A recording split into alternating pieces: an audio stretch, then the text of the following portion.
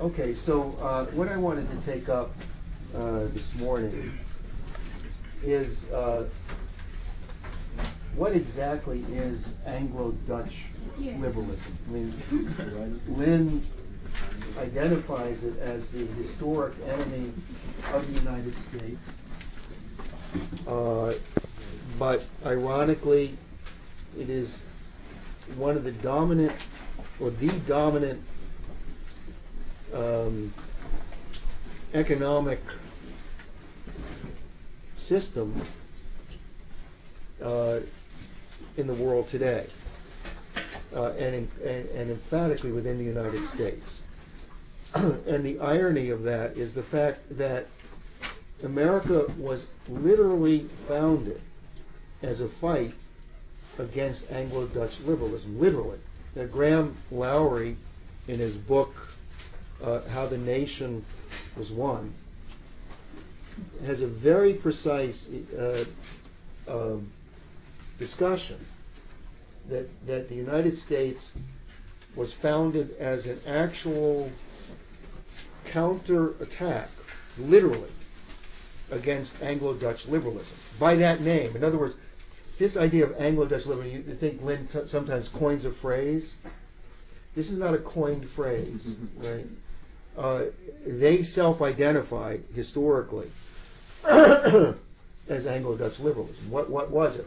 Specifically, what happened in England was, and I'll go through this. I, I just want to identify the broad scope of it and then go through the details of it. Uh, is that William and Mary, uh, William uh, of Orange from the Netherlands, which is the Dutch side of the Anglo-Dutch liberalism, was asked by the Venetian Party, and, and they later became known as the Venetian Party, right?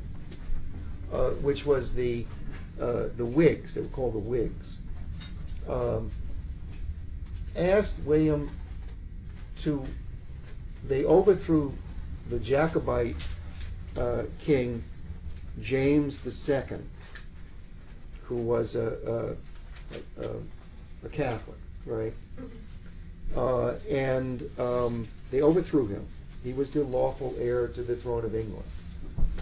And they brought in a, a, a, a I don't know, Calvinist Protestant king called William, who was not English. Right? He was the first English king that wasn't English. Okay. Um, and they brought him and his wife, who was the daughter of James II, who was, who should have been the heir to the throne. His daughter should have been the heir to the throne, which is Mary, because she was born in England. She was the. If you're going to overthrow him, the succession would be to his daughter, right? But that's not that's not what happened.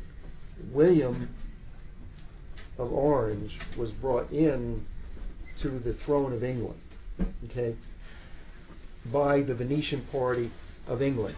I, I, I don't just use that lightly. That's what they were later known to be. Okay, um, and uh, and they put William on the throne. Okay, and then you had the succession of the German kings, the Hanoverians, which were George the First, George the Second, and the well-known well, to Americans George the Third, right? Hanoverian? Hanoverian from Hanover, right? Okay. So when you say Anglo-Dutch, right? This is you know you're not really coining a phrase, right? It's Anglo-Dutch. It's literally Anglo-Dutch, right? And they and they call their philosophy under Adam Smith liberalism. So it's Anglo-Dutch liberalism. Uh, In other words, no one could argue, right? No one literate. I mean, there are a lot of illiterate people. I mean, they they can say any goddamn thing, right? But I mean, no one literate who knows anything about history could argue there's such a system called Anglo-Dutch liberal system. It was known by that name. It's written by that name, right? Uh, and this Anglo-Dutch liberal system was the system that was overthrown by the American Revolution. That is not debatable by anyone. I mean, that, that's simple, that's straight. This is no irony, no subtlety. that's what it, that's what happened. Okay. Uh, in other words, it, it, what what we're saying is not arcane. It's just that everyone's illiterate. okay. It's not a strange thing we're saying, right? It's just you know illiteracy, right, about the American system because the American system was a revolt against the Anglo-Dutch liberal system. Okay, as I said, there's nothing to the imagination on this side of it. Okay, this is direct. And Graham Lowry, uh, in his book "How the Nation Was Won," has a brilliant exposition. You know, I, I, I was rereading it. Um, uh, for the class, but also uh, for myself, really. I periodically reread it. Uh, and um, this guy is an, I mean, Lyn was not kidding. This guy is, was, I mean, he is and he was, right? A, a brilliant historian. I mean, I mean, the little touches, the little grace notes, you know, yeah. that he puts in, the little cultural grace notes that he puts into this thing. This is a guy, these people were real. It's an unfolding drama. I mean, it's written as a, a classic drama with a happy ending. Uh, not a tragedy. It's a heroic, uh, it's a heroic thing. Uh, uh, and uh, and the grace notes of who these Anglo-Dutch liberals were, right? But I just wanted to establish that because because that side of it only you know I, I, I sometimes marvel at the amnesia right? What causes this amnesia? Uh, uh, how could you not? I mean, how could you not know at least this? Okay, that the American Revolution was organized against the Anglo-Dutch liberal system. How could you not know that? Okay, I mean, how could not every single class in history of the American Revolution start with that? I marvel at it. I, am sometimes, you know, astounded at, at the historic amnesia. Amnesia is a nice word, right? Mm-hmm. at, at, at, at, the crap that's being taught in school. Okay. All right. And again, I said we established this in the uh, uh, uh, irrefutably uh, in the uh, book that Graham has written. Okay. What is not established although uh, not, which is not, which is somewhat historically fascinating and ironic, right? Is where did Anglo-Dutch liberalism come from? In other words, the fact of Anglo-Dutch liberalism and the ascension to the English throne by a Whig Venetian party hmm, to bring that is established. Okay, what is not established, which I'm going to go through in some detail, right, and then we'll get back to this subject, right, is what is what is this Anglo? Where did that come from, right? In, in other words, it, we know it happened. We know we had an American Revolution against it. We know it was a disaster for England and everyone else. I mean, as a system, right? Uh, you know, this was colonialism. This was this became British colonialism. This became the destruction of India. This became the destruction of Ireland. This became the, the attempted destruction of the United States. Right? In other words, its history is well known. Okay, and presumably, you know, except for people like Kissinger, uh, it, at least they're ashamed of it. You know, some guys really are unhinged, right? But but uh, you know, at least some people are ashamed of, it, or, or, at least they can't get away with it openly, right? Um, okay. So uh, so the question is, where does this come from, right? Because in order to know the character of the enemy, you have to know its characteristics, right? Where, where does this come from? In other words, what, I'm, what we're saying about Anglo-Dutch liberalism, as I said, is not refutable. is no, no competent history, just a simple, straight exposition, right, could deny that. But where does it come from? That, that's the issue that I'm going to be taking up today, and then we'll get back to it in terms of its implications, and we can open up for discussion, right? Okay. Now, we we know that the um, that the collapse of the Roman Empire, right, which was based on slavery and looting, right, it collapsed not so quickly. It collapsed first in the West, in Rome itself, but the actual um, Roman oligarchy under Constantine split Rome before Rome collapsed. In other words, Rome was being overrun by uh, different tribes, right? The different uh, Celtic and related tribes, you know, from uh, also from uh, very much from what was France at that point, what, what became later France, right? Uh, Gaul, it was called Gaul, and was being overrun by these tribes, right? Um, uh, but in the West, uh, Constantine, who later set up Constantinople, set up a, a, a the, the seat of the Roman Empire was was in one in Latin Rome, and uh, the other seat was Constantinople. And one of the reasons they chose Constantinople, it was extremely defensible. There was water on three sides. And what they did was they built up a massive rampart on the land side, and they they had and they had to have a fleet, a major fleet, so that no one, no land force could invade.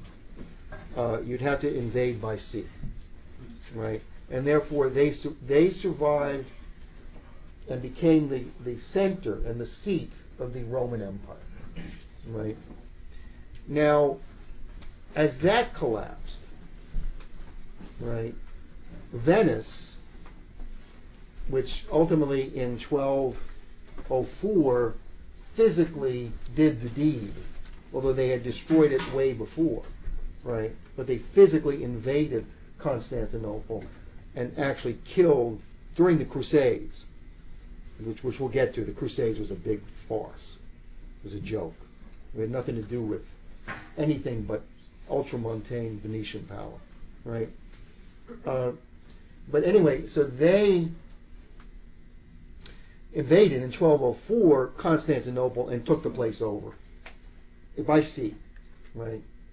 Uh, uh, Did they actually have an armor, uh, army or? Navy? Sure, they had a navy and a marine corps, but what they used was the Norman chivalry, which is what I'll get to. Right. That that, that is the point, by the way. It was a, it was a combination, the physical overthrowing of the Byzantine Empire, right, was a combination of the Venetian power along with the Norman chivalry, which which created the land forces for the invasion and destruction of Constantinople. When did they do that? 1204. This is, this is at the height of the Crusades. Right.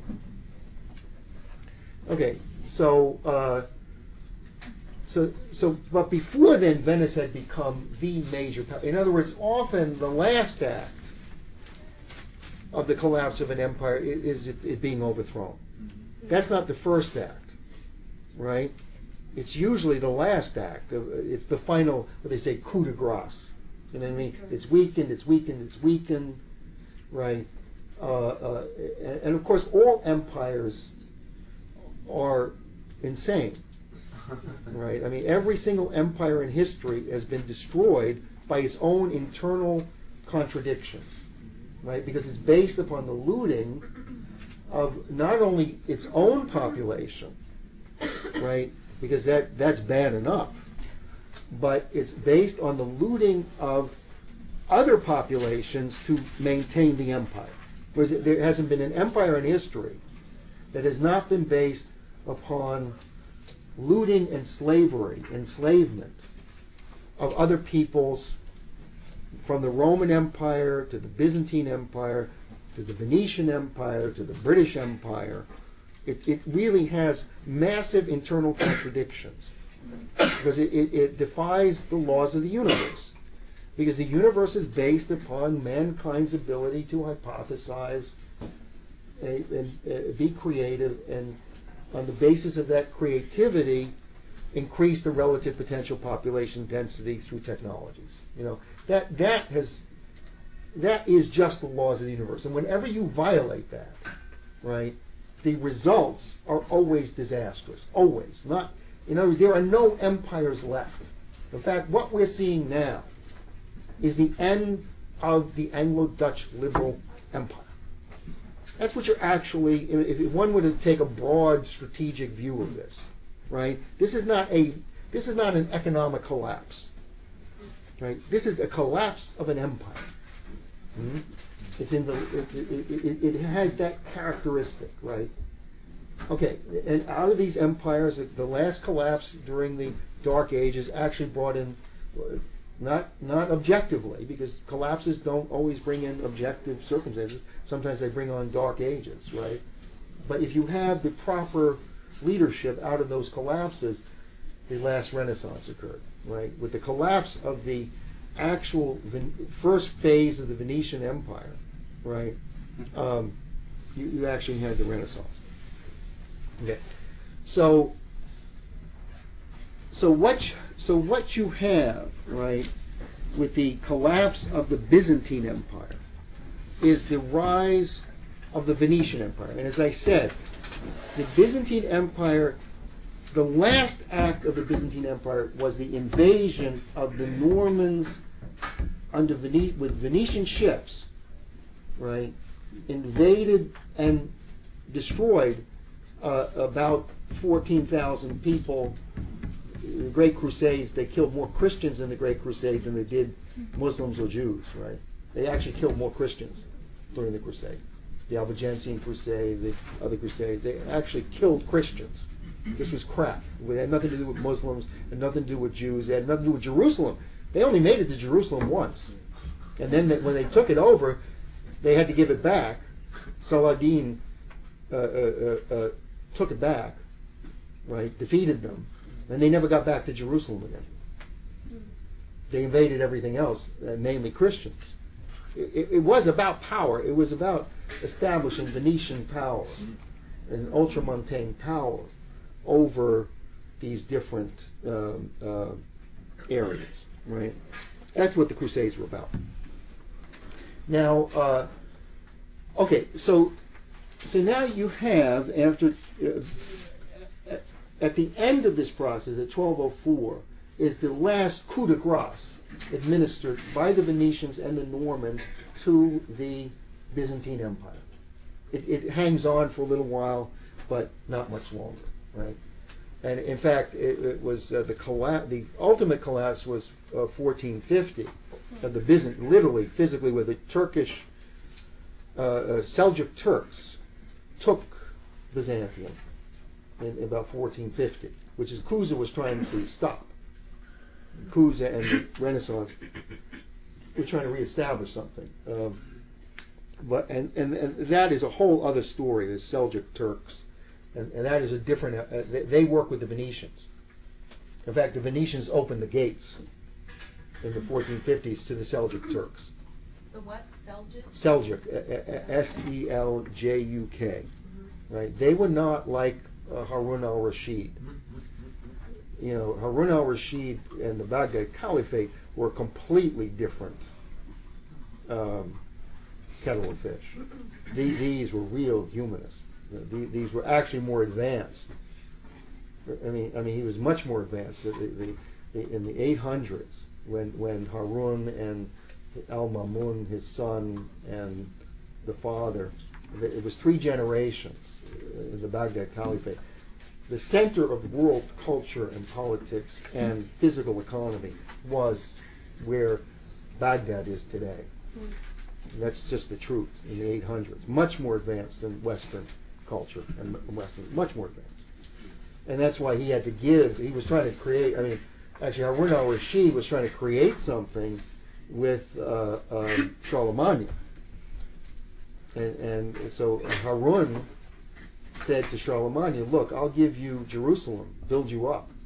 with the church, right? Because he was the Holy Roman Emperor. So he said, "I'll build you up with the church. I'll give you Jerusalem, but I'm worried if you send too many troops here, you'll screw up your ability to hold the Western Empire. So I'll see, I'll just give it to you, and we'll collect rent and other things from and send you the money." Right? I, I, Harun al-Rashid is a fascinating subject in itself. Uh, Harun al-Rashid, uh, yeah. Why, why were they called Turks? I don't know. I, I honestly, I don't know that history. Uh, you know, it's only so much I can sort of get. You know, I, I mean, it's sort of interesting. But uh, anyway, so the Seljuk Turks by 14, 15, four, uh, 1450 took over the Byzantine Empire. As I said, Venice. Venice became the center of the of the empire, right? Uh, that again is nobody would dispute that, but nobody knows what Venice is. Okay, that is where you get into disputes. Okay, uh, you know, because there are history books written, you know, uh, you know about this and, and that kind of thing. Where would you get into the dispute? What was Venice? Okay. Now, um, we've done a lot of work on this. I'll just uh, one of the most uh, valuable discussions actually is not published. Hmm. Anyway, uh, if you're interested, I'll get it to you. Uh, Al, Douglas wrote a, a brilliant piece on on what is Venice, right? Uh, but I'll give you sort of the broad outlines of it, um, because it, it, because it, what Venice was it started out as a maritime power, right? That, that uh, what happened with the collapse of Rome in the West, Rome itself, physically Rome, right? The Venetian, the Roman, the Romans who were escaping the collapse of Rome escaped to this uh, famous uh, lagoon of Venice, right? It's it's in the northern Adriatic, right? It's the lagoon, basically. Uh, and they, uh, uh, there's actually one of Verdi's operas called Attila. Uh, it references this Venetian. Attila, Attila the Hun, Attila the Hun, yeah, Attila. It's a very good opera, by the way. Very interesting. Uh, Attila, A-T-I-L-L-A. Uh, it's about Attila the Hun, and, and it has this funny irony about who Attila really was actually. Um, but uh, but anyway, um, they escaped. The Venetians, uh, or Venice didn't exist. It was the so-called noble Roman families, right? Uh, escaped Attila taking over Rome, and or, or just before these tribes taking over Rome, and they they went to Venice, and they were able to hold on these islands in, in the lagoon, they were able to hold it militarily Mm-hmm. Because no one could invade it from the, the, the barbarians or the pagans could not invade from land.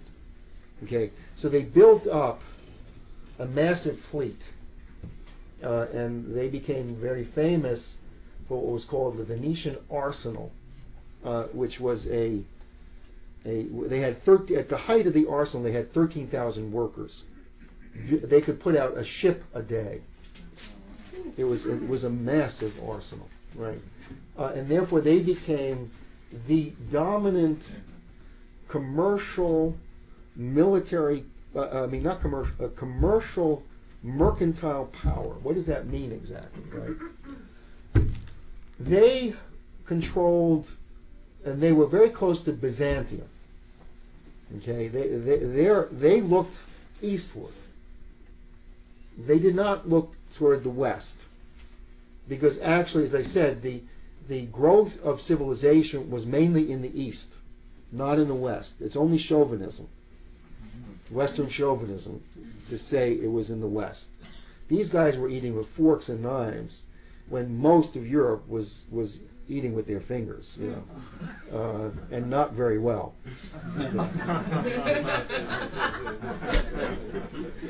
yeah. Um, How about that? So anyway, uh, uh, you, look at Baghdad; it was a- a- extraordinary development, actually. Uh, but anyway, so the so Venice was mainly a trading routes from the east to the west. You know, they brought in spices, they brought in cloth, they brought in the actual fruits of the labor of the Eastern world, right? Which, which uh, after the 800s was dominated by the Muslim world, right? Um, uh, they brought those to the and China, you know, the famous Silk Road.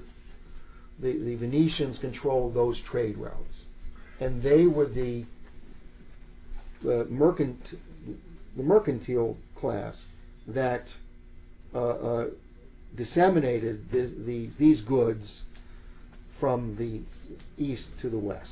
Okay, and the west was barbaric at that point, right? It was, it was barely around. All right, now, um, and the rise of the West, of course, goes slowly. I gave a class year, about a year ago on the question of Augustine and the development of the Irish monks and the monastery movement and the development of the West. That's how it happened. Right? Huh. All right. So, uh, so anyway, so so so that's what Venice was in its initial phase, right? And as they built up this mercantile capability and the trading capability, they built up around it banks. Okay, you know, now ba- banks were known in Rome and other places, but not these kind of banks, right? Uh, and the actual, and you'll find this very interesting, the actual center of the banking interest, this is Al's report, and, and there are books on this. Uh, the actual center of Venetian banking interest was the church at St. Mark, St. Mark's Cathedral, right? In the basement of St. Mark's, right, was the banking center of, of Western Europe. What's St. Mark's? What makes St. Yeah, Mark's so yeah. special? St. Mark's, well, i- i- it's a hilarious story. I- just tell it just because, you know, if, if Graham could do grace notes, I could do a little grace note here and there. Uh, uh, the, the, the, the, um, the bones of St. Mark, who was one of the apostles, right, were found in Jerusalem. And uh, the Venetian traders uh, uh, got the bones of St. Mark and brought it to Venice as their patron saint. Right? There, there was a lot of mysticism involved in the church at that point. Right?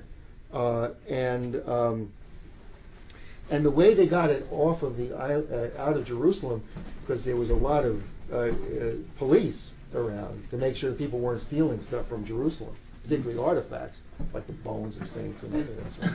Uh, is is they they packed it in pork and and Oh. pork right in a barrel of pork. St. Mark Jewish. No, no, but the Muslims didn't eat pork. But, no, the Muslims didn't eat pork. So when they opened the barrel, you know, they, they, they said, "I just close it, forget it." Uh, anyway. anyway, so so they brought the bones of Saint Mark back to Venice, right? Uh, I mean, they were crazy too. Don't kid yourself. Oligarchs are pretty crazy, uh, right? Uh, and uh, uh, so they brought the bones back, and they founded a church based on these bones, which became the central church of of Venice. Was the, the you know cathedral of, of Saint Mark. Okay, in the basement of the cathedral of Saint Mark were, were called the procurators of Saint Mark, right? Uh, and and they were the single most powerful body in Venice, right? What was that called again? procurators of St. Mark, right? That was an official title. And and what would happen is the families, the oligarchical families of and, and this is the first rule by oligarchy and without a king. They didn't have a king. Venice was uh, was a very strange place, right? Uh, the ruling families set up a senate, okay, and and you could not participate in the senate except if you were from one of the ruling families, right? Uh, uh, and there were, I think, 300 families You have, they have the names of it, right, of these families, right?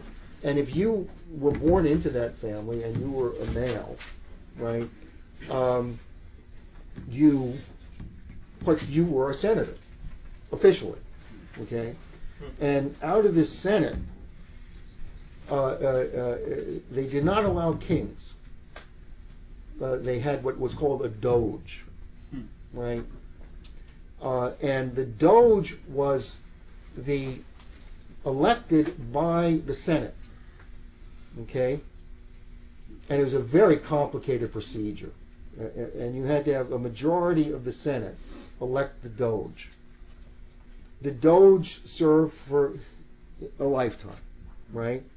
But the doge could not act except with the council of three, right?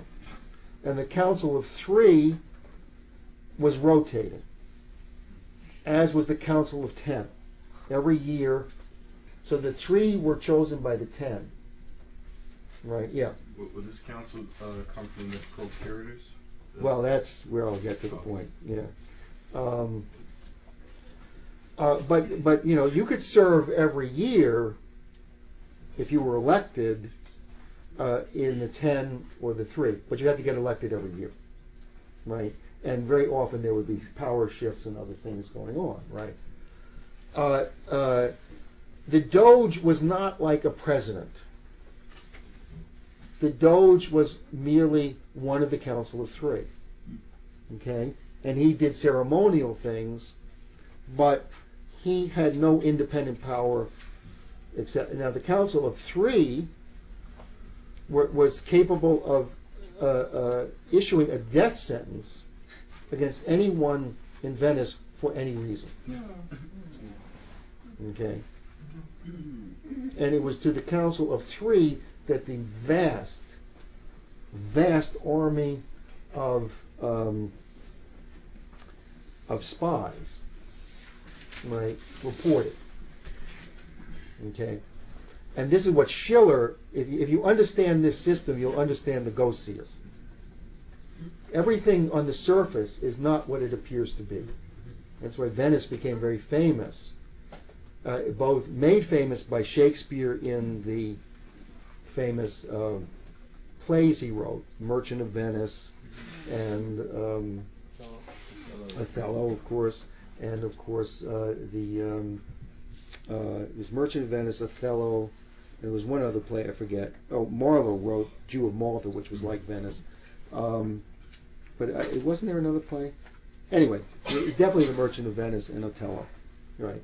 Written about that. Um, and of course, Schiller's famous Ghost Seer is probably the most brilliant study. I gave a class on that years ago on, on the Ghost Seer. Because if you want to know Venice, if you really want to know how Venice worked, you read the Ghost Seer. How do you spell it? Uh, G O G H O S T S E E R. If you really want to know how it works, and it's a puzzle. It's a puzzle, and it, and and and the first time you read it, the first time I read it, Mm-hmm. and got to the end of it, I realized I had no idea what I had read. the ending is so shocking, is so ironic, is so impossible that you realize everything you read before, right, you were fooled. If you start with a set of assumptions, what you see is what you get, you're fooled. Right? I mean, I mean, what, what Schiller does is he takes you through the process of Venice, not just merely, not just merely a description of Venice, but the actual core of Venice. Right? Uh, okay. Now, the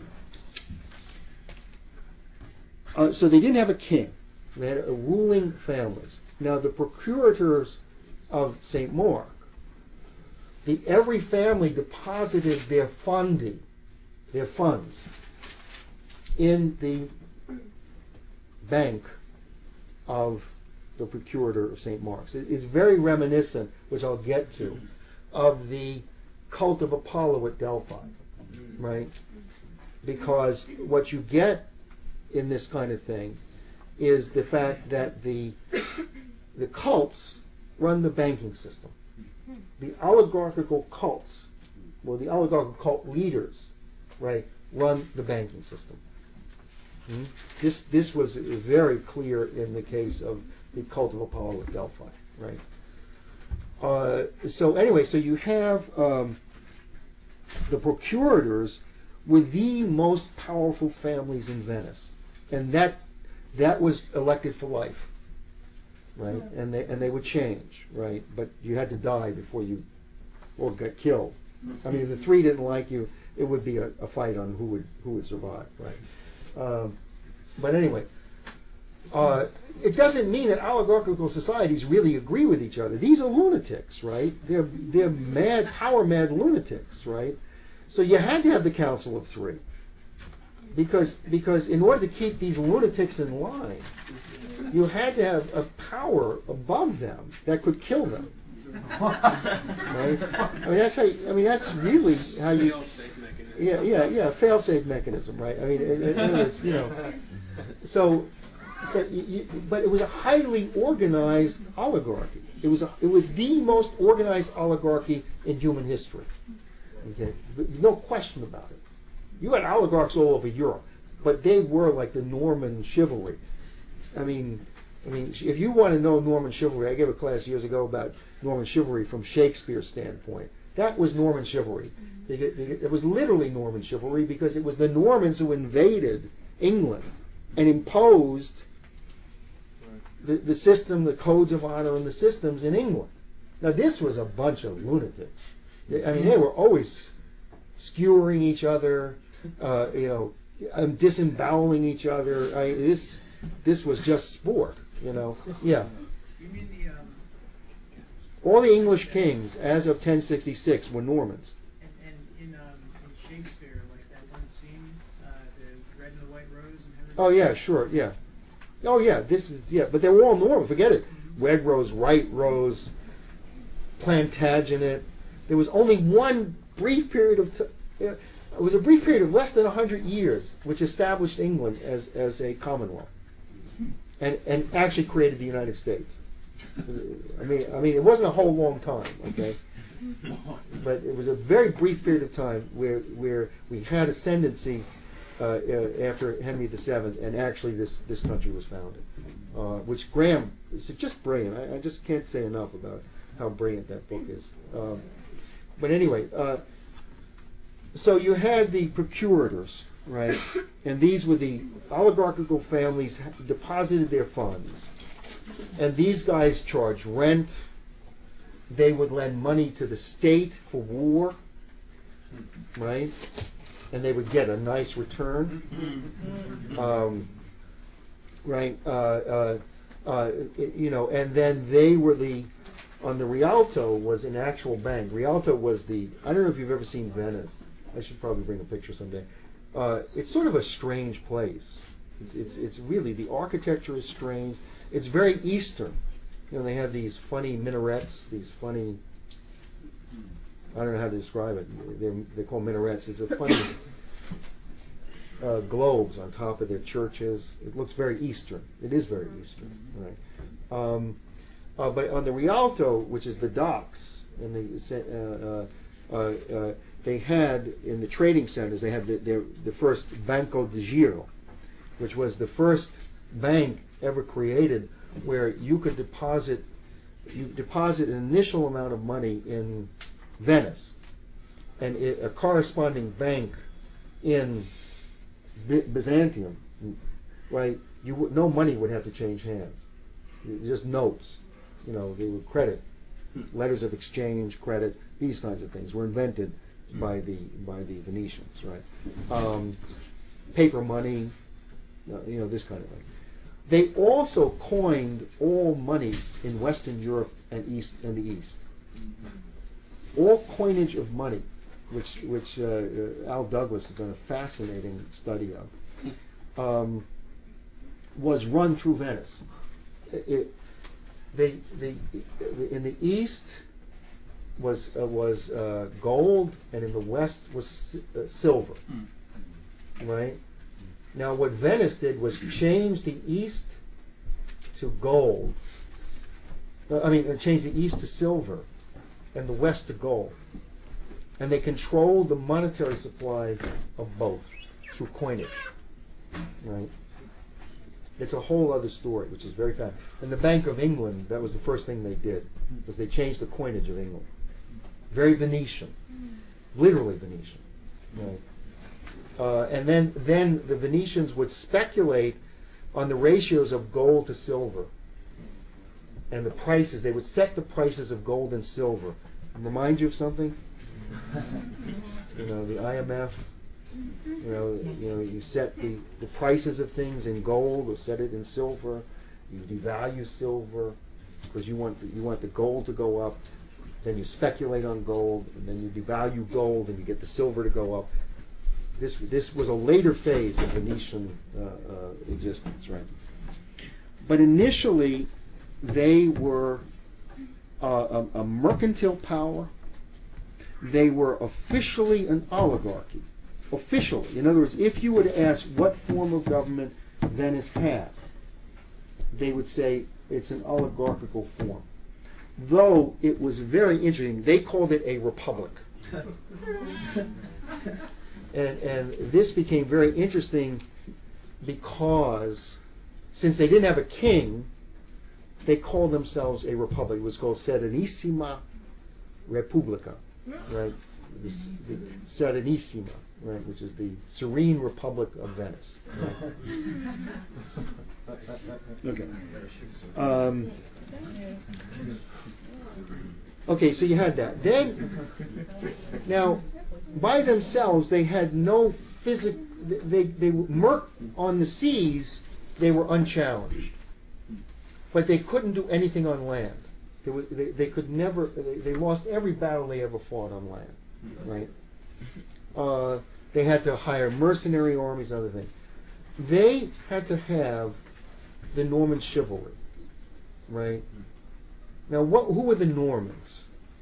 The Normans were a bunch of Vikings who settled in northern France, later called Normandy, or, or right, later called Normandy was just northern France at that point, right?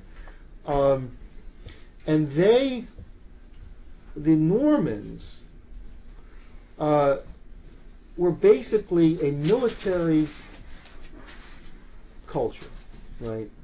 Uh, uh, they basically didn't farm. Uh, they they didn't do mercantile stuff. Uh, they basically killed people. okay, that's what they did. uh, uh, you know, Vikings did those kinds of things. Uh, uh, they were a raiding culture. It was a pretty degenerate group. Right? Um, I, I, I got to tell you, one of the books I read was hilarious. Uh, I knew this was the book I had to read. It was, uh, uh, I forget the name of it. I'm not recommending you read it, but the picture is worth a thousand words. The guy who wrote it was on a horse. I mean, you know how you have the flap jacket where the guy's just standing there. It's usually a demure picture of a professor who wrote it, or and the biography. Well, this guy's on a horse with mail coat, you know, riding on This guy, this is the book I got to read. he knows what he's talking about. My kind of guy, right? He lives, he lives his history, right? crazy as a loon. The guy was crazy as a loon. Crazy as a loon. But he was telling the truth. Yeah, yeah. But he was telling the truth, right? Um, so, uh, I was looking through the other books and said, no, this one's not going to be academic. You know, this one's going to be. Uh, so the Normans settled in, not for long, by the way, settled in what was later called Normandy or northern France, right? They immediately migrated south to um, uh, to what later became Sicily, right? But they they migrated to southern Italy. They didn't invade Sicily till later, which was Muslim, right? And you're talking about 700, 800 AD, right? 800? 7 to 800 AD. When they said when the first Normans invaded and and actually were given land in northern France, right? the Vikings, or the Wings? They, they were Vikings originally, but they settled in northern France. Mhm. What can I say? They were Normans. I don't know. What they call themselves. Um, I don't know why. Um, they, by 1066, they had decided, in coordination with the with Dan- with the Danes, who lived in what was called Britain at that point, or England at that point, they had invaded England with William the Conqueror in 1066, right? Normans?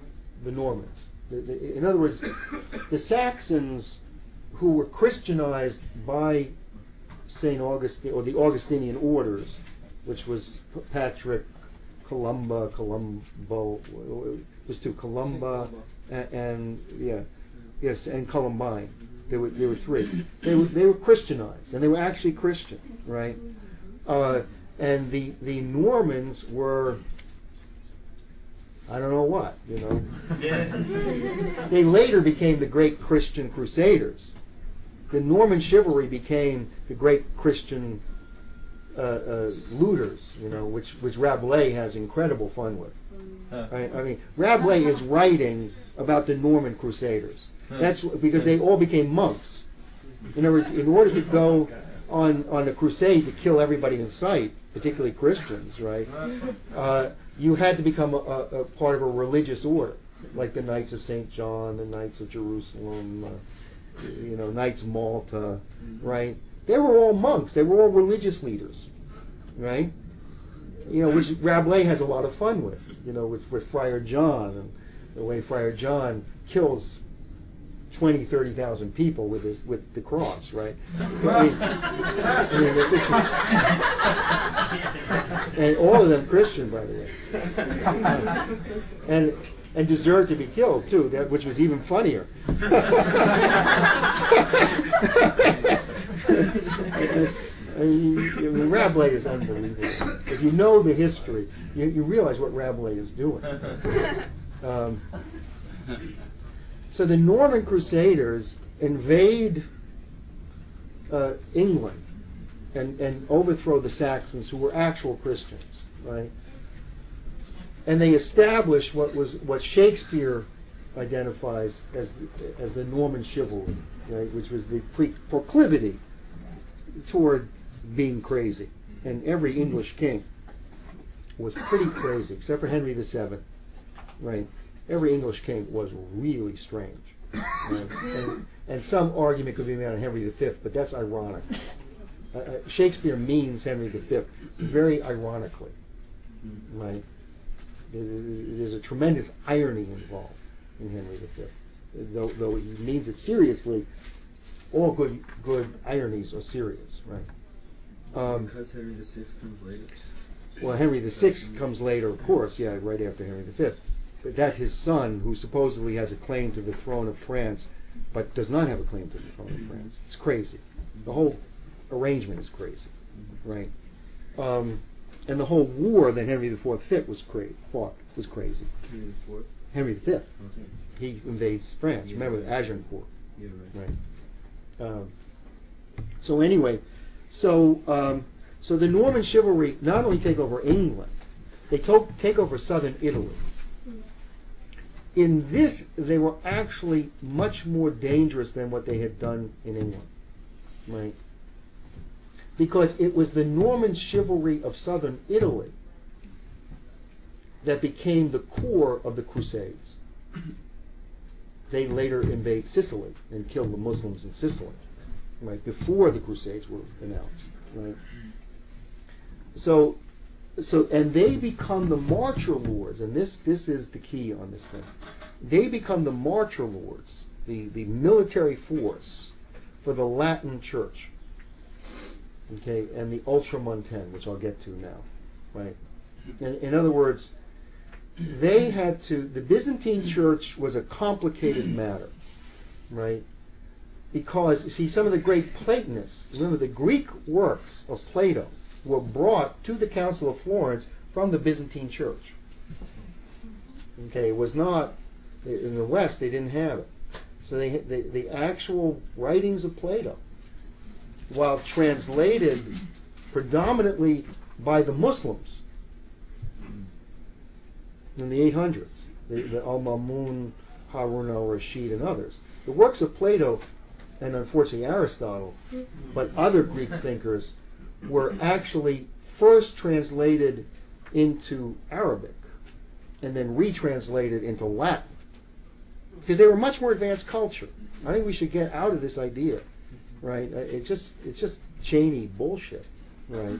And and, and Norman chivalry bullshit and Venetian bullshit about about the Muslims and, and that culture, right? Um, so uh, so anyway, so uh, so the Byzantine Church was complicated.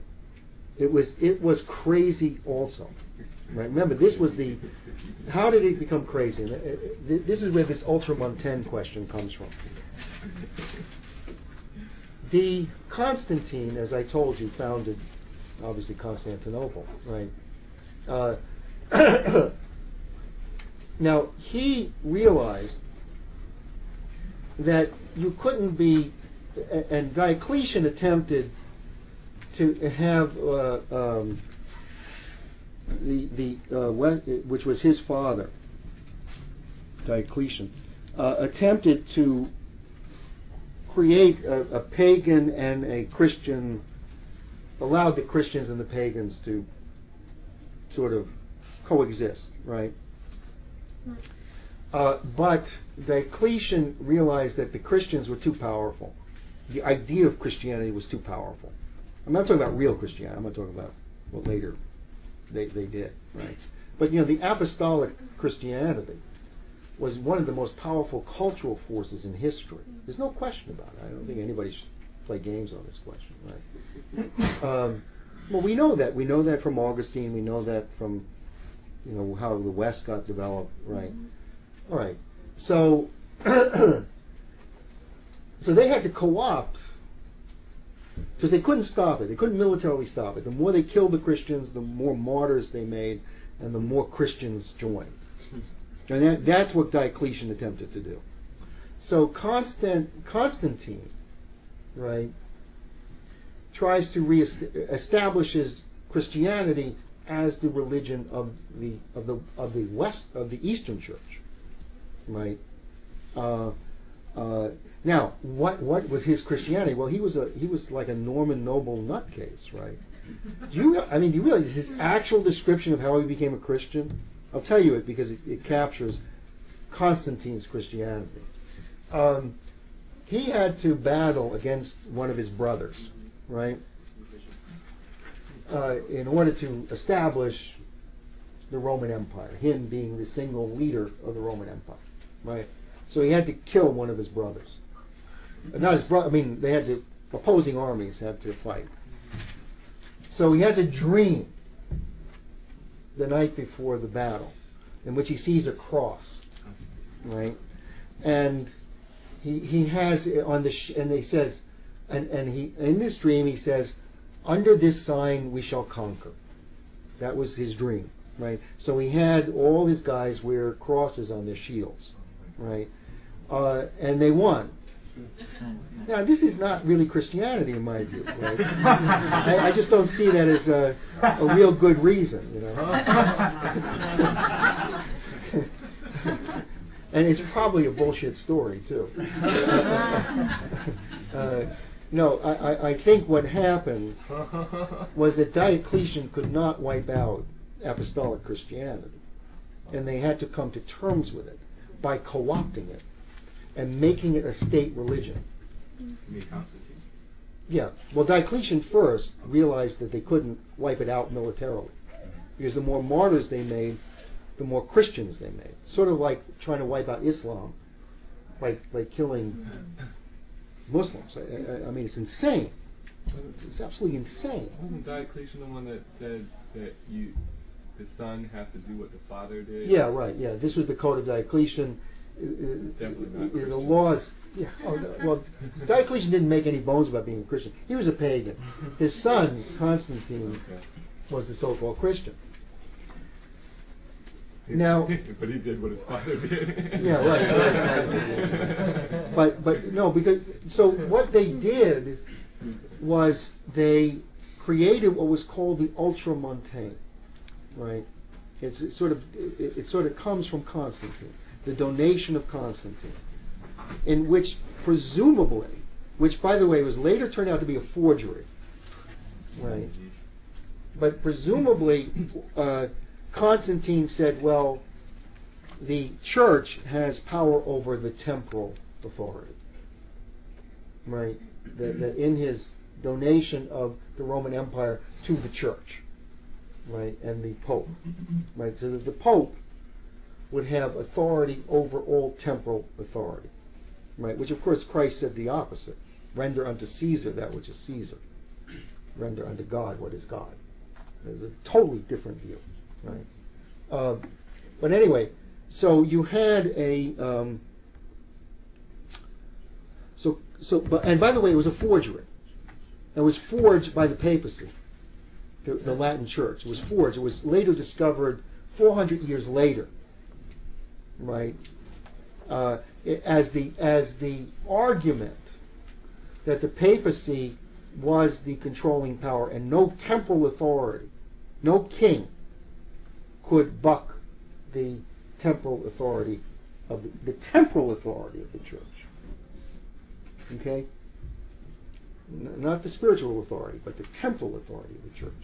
And that's where the Holy Roman Emperor and all sorts of other things was was the battle from Charlemagne forward was that the, the temporal authorities have to be in the hands of the kings, right?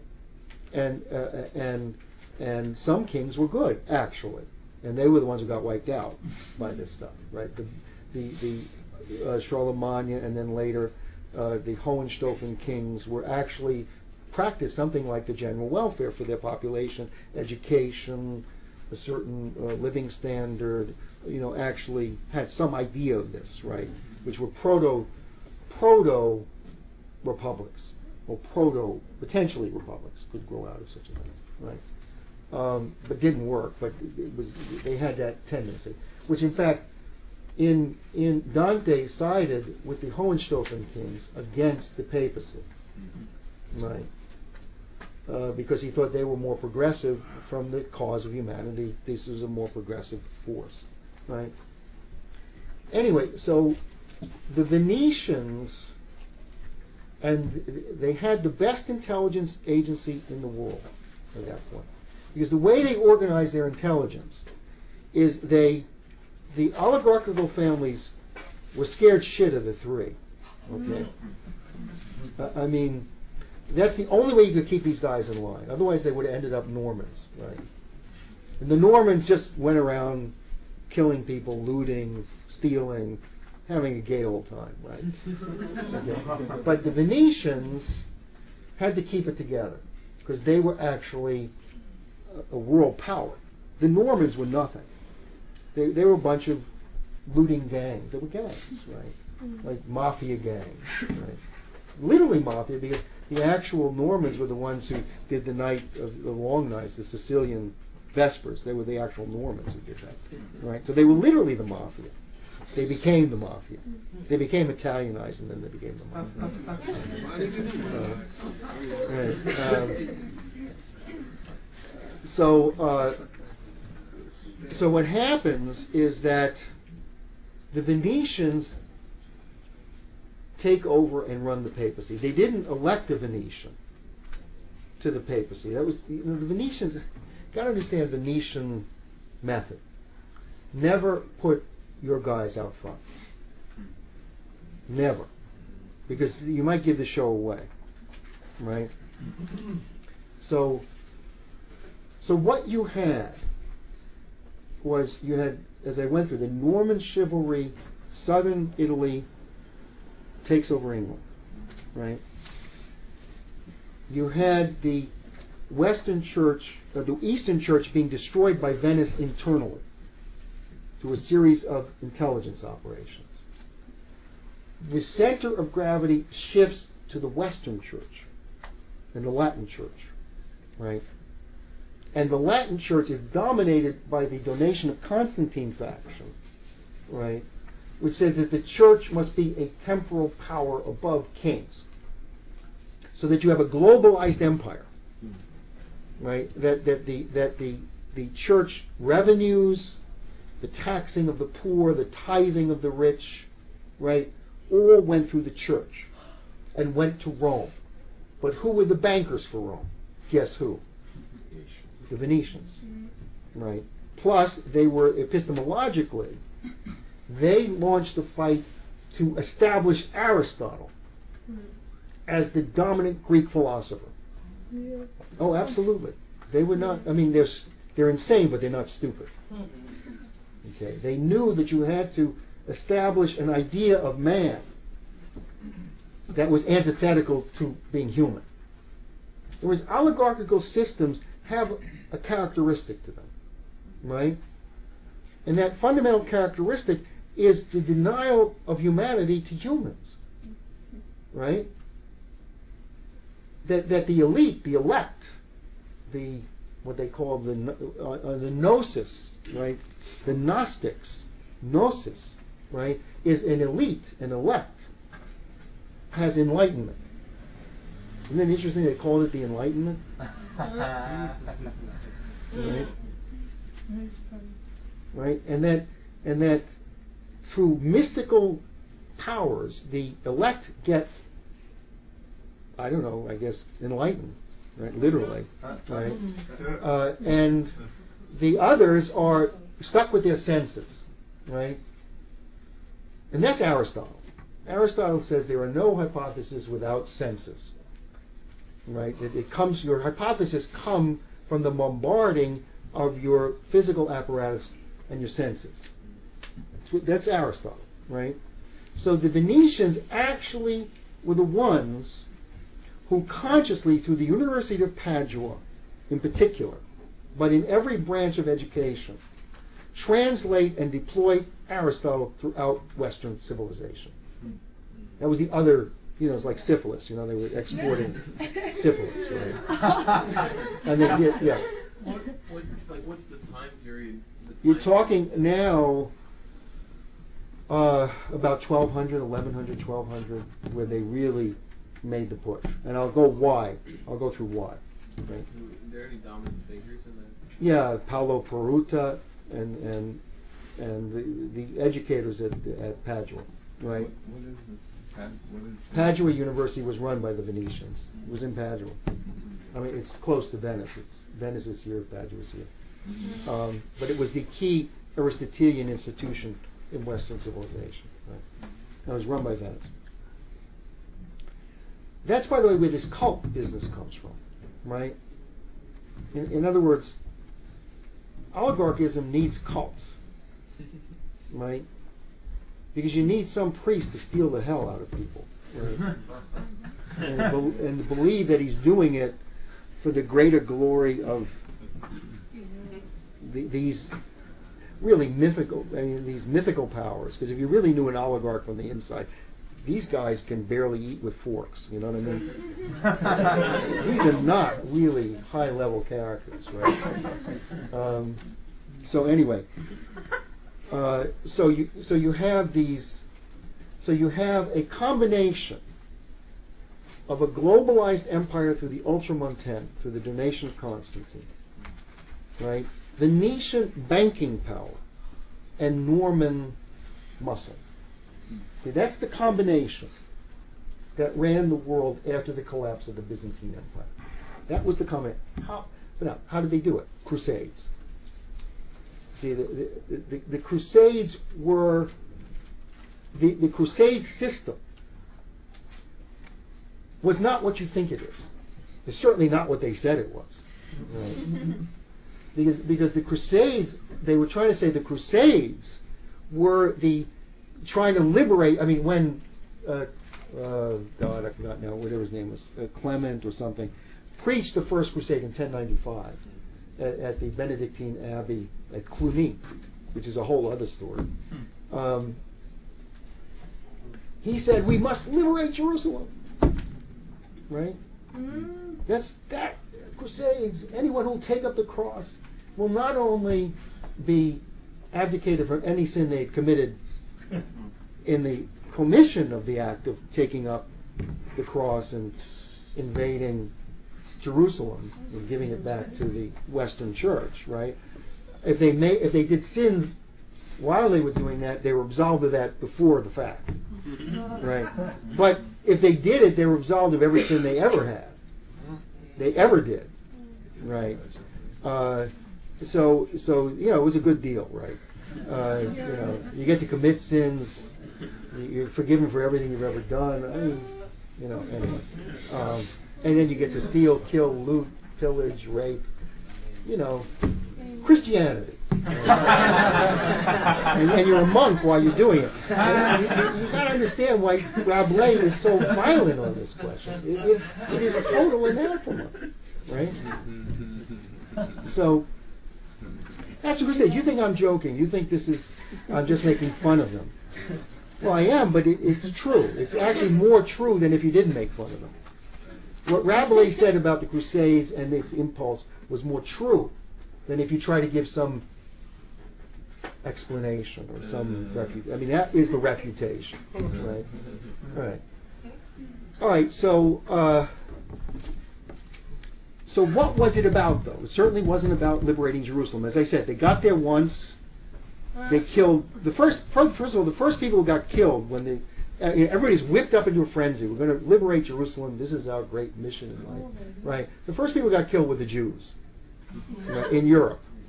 Right? I mean, it just to get to get into the act, you know, get you know, get your swinging arm, your axe arm going, right? Kill a bunch of Jews, right? Uh, uh, that's true. That is true, right? Because they wanted to loot. They needed money for the damn crusade, so they stole it from the Jews, right? And they killed them, you know, because they were heretics, right? It was a religious frenzy. It was like the, the damn, you know, uh, uh, frenzies that they whip up against uh, uh, Muslims now, or you know others, right? So they killed. So who was the first victim of this? The Jews, right? And they stole their money. So that's why I found it so ironic that the ADL was was preaching this crusade against the Muslims, because everyone knows that, you know, and liberating Jerusalem was some other crazy place, right? For the Jews, ha ha ha. the oligarchy liberating Jerusalem for the Jews. That's a joke. Uh, we know the history of this thing, right? Um, it, it really stupid. I mean, on top of being mean, they're really stupid. yeah. Uh, so, um, so anyway, so so they got to Jerusalem once. They took it over. They killed like thousands of people. The first crusade, the poor schmucks. The first guys got so crazy and whipped up under Peter the Hermit, they went there without any arms. Oh, was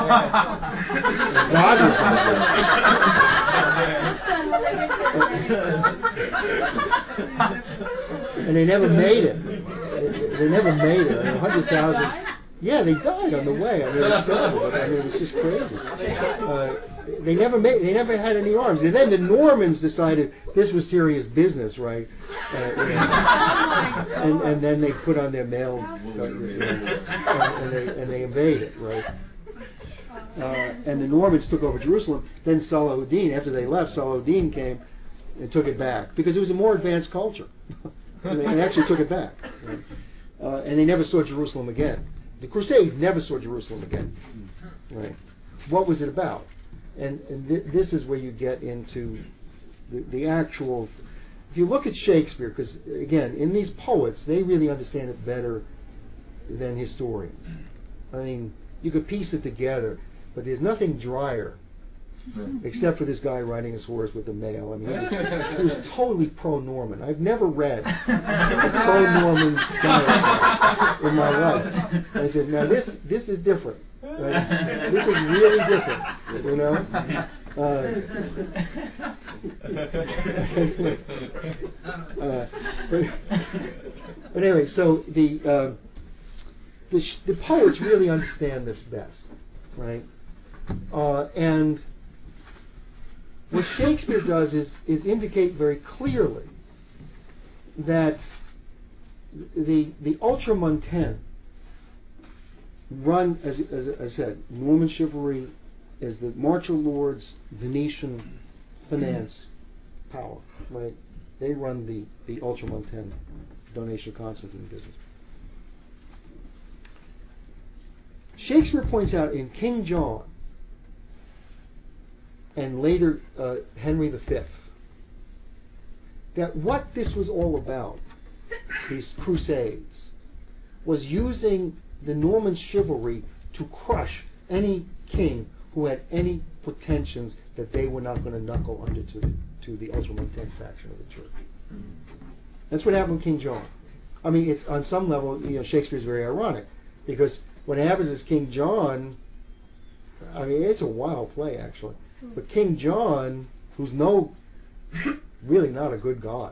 I mean, it's unbelievable irony. It's only takes a poet to really understand this. It's unbelievable. He was not a good guy, King John. He was a jerk, uh, and he usurped the throne.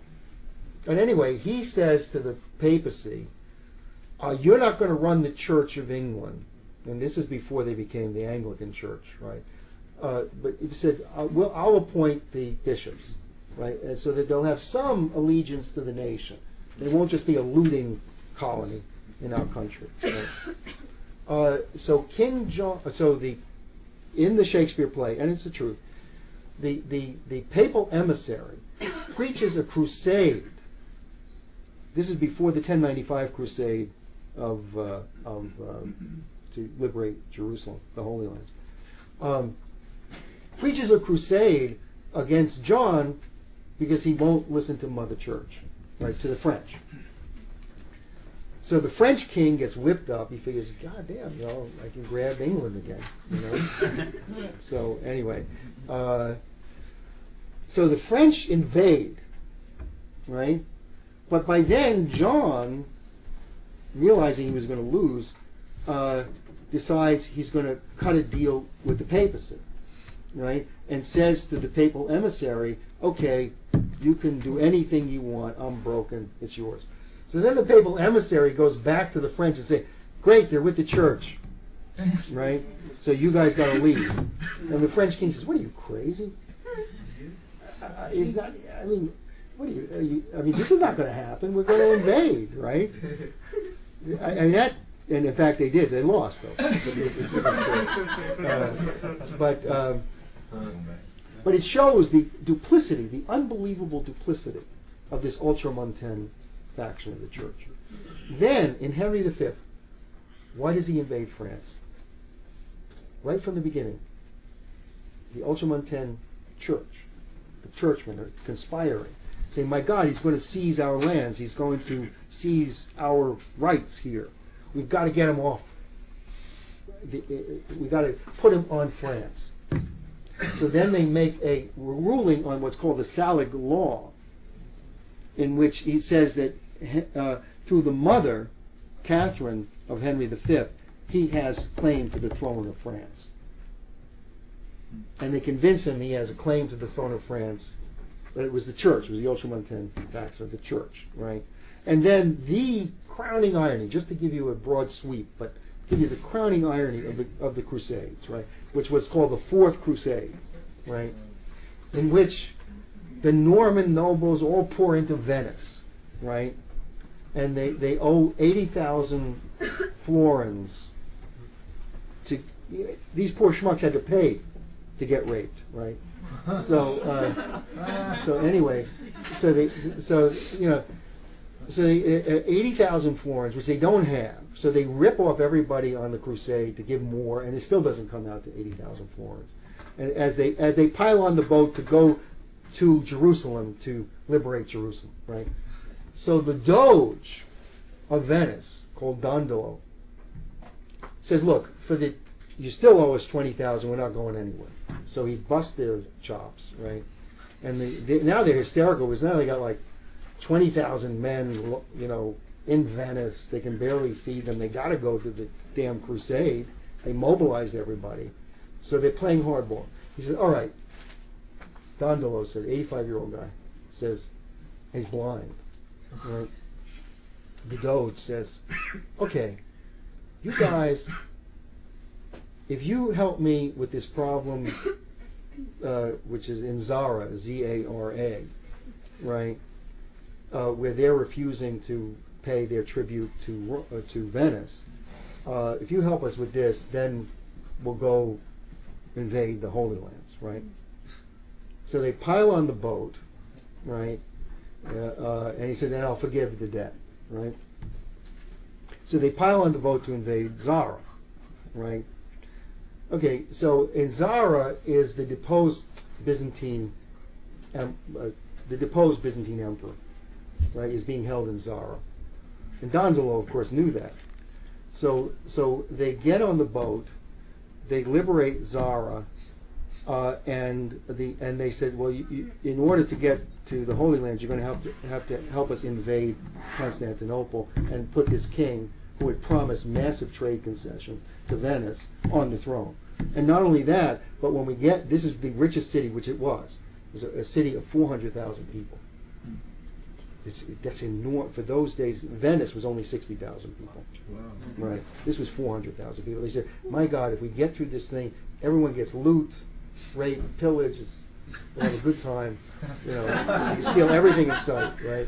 Uh, and, and not only that, you can pay the 20,000 you owe us, right? You know. Anyway, so to make a long story short, the Fourth Crusade destroyed the largest Christian city in the world. That's I mean that, that was the Fourth Crusade, right? And that's when Venice stole everything in in the Byzantine Empire and brought it back to Venice, and the famous turrets and the, the lions of Saint Mark were stolen from Byzantium and brought back to Venice, right?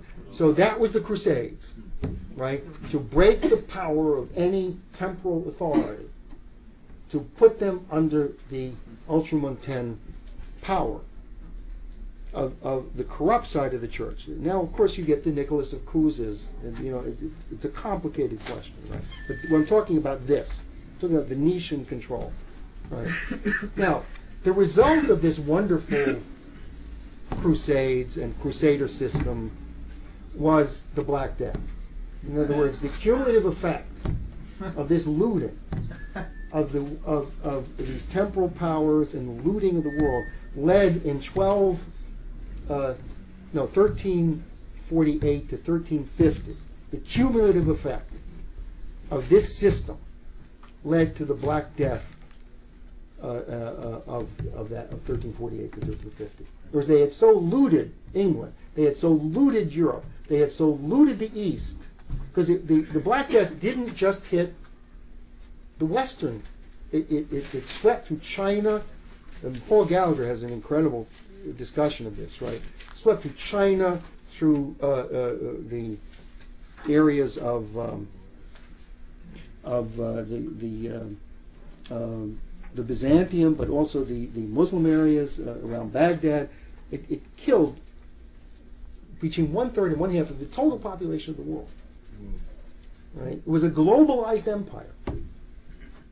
Mhm. The Vene- Venetians created a globalized empire right, of ultramontane authority with Norman chivalry as the marcher lords. Right?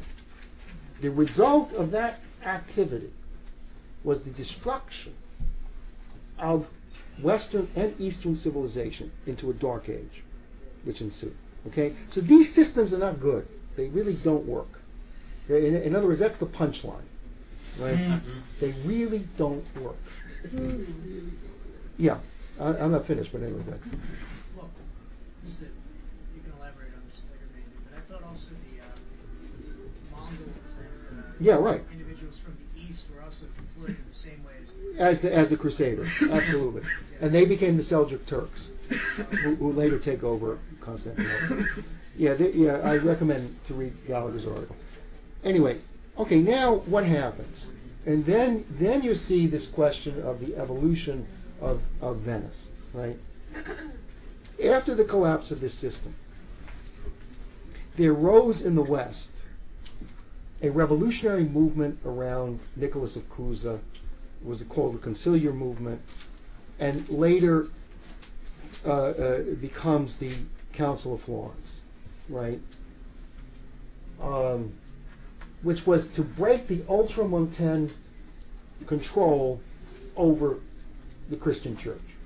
Because in the West, the, the as of 1204, Byzantium wasn't a factor, right? Okay. So, so the Renaissance occurs not because it objectively had to occur because of a collapse. That is not true. It occurred because you had a unique individual who had studied Plato, and, and I was having a discussion with uh, Megan a little earlier on this question, um, who had studied Plato, who had access to it. I don't know exactly how, that's an interesting question, and was a unique genius, Nicholas of Cusa, for a brief period of time, through the dialogue on the question of Greek civilization and Plato, and, and actually these Greek texts, the Platonic texts, were brought from Byzantium to the Council of Florence. Cardinal Bessarion was the one who brought the, the, the Greek text to the Council of Florence, right, and discussed the filioque, discussed the idea of, of the of man, right, imago Dei, and and you had a great efflorescence through Leonardo da Vinci and then Kepler and others as an offshoot of this great Italian upheaval called the Renaissance. Right? But they also seized power in the church. They broke, for a brief period of time, they broke Venetian control over the church. And the church was actually functioning on the basis of Imago Dei and an idea of man in the image of God and therefore implicitly the general welfare. Implicitly. Right? As a result of those actions, you had the first developments through Louis XI and then later Henry VII in England of this idea of the Commonwealth.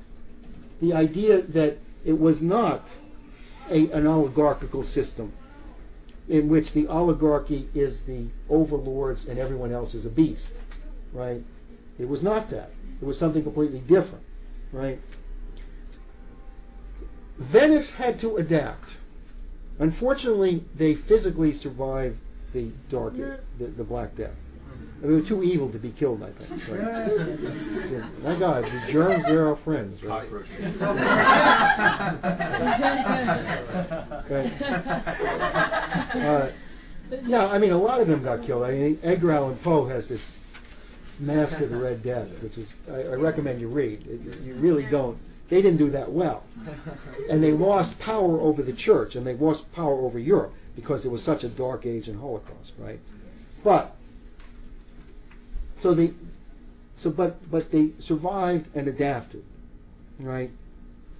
So as as a reaction to the Italian Renaissance, Venice launches the Protestant Reformation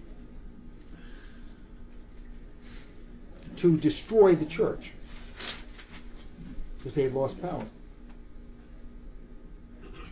So they launched the Protestant Reformation. They also launched the Counter Reformation. right? Under uh, the, the aegis of the Jesuits, who were founded in Venice by Cardinal Contarini, who was the most, uh, uh, the single most powerful family in Venice, right? And he became a, a, a cardinal of the ch- of the Western Church, and he he picked up this lunatic mystic called Ignatius Loyola, right? Who was sitting as a um, as a lunatic mystic, actually, uh, in the fountains, uh, uh, you know, in in uh, in Venice. I don't know how he ended up in Venice. That's an interesting story. Uh, so Contarini said, "Boy, this guy's crazy. We sh- we could use him." Right? Uh, uh, and they found the Jesuit order. So they they launched the Protestant Reformation through Luther and operations through Luther, through certain Protestant kings or not, they weren't Protestant kings, but Catholic kings who were, who they could play, right?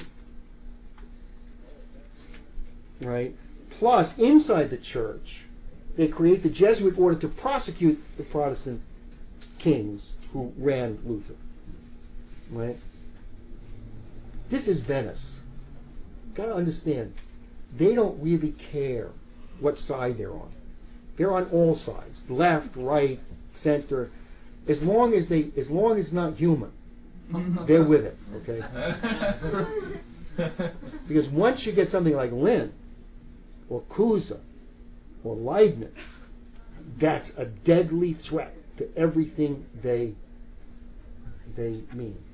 Right? You, you get these deadly threats because they, they hearken back to Plato and Socrates and the well springs of Western civilization, which is the apostolic Christianity.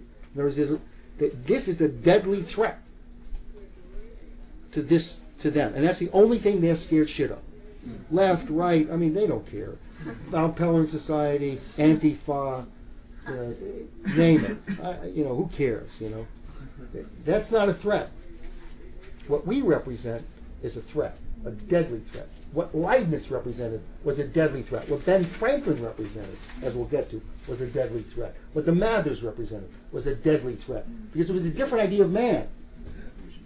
A fundamentally different idea of man. Right? Which represented a, an actual republic as opposed to Serenissima Repubblica of, Venice, right? Okay. Now, um, okay, so now, so so they unleashed bloodshed through religious war, which they had done during the Crusades. This is an old MO.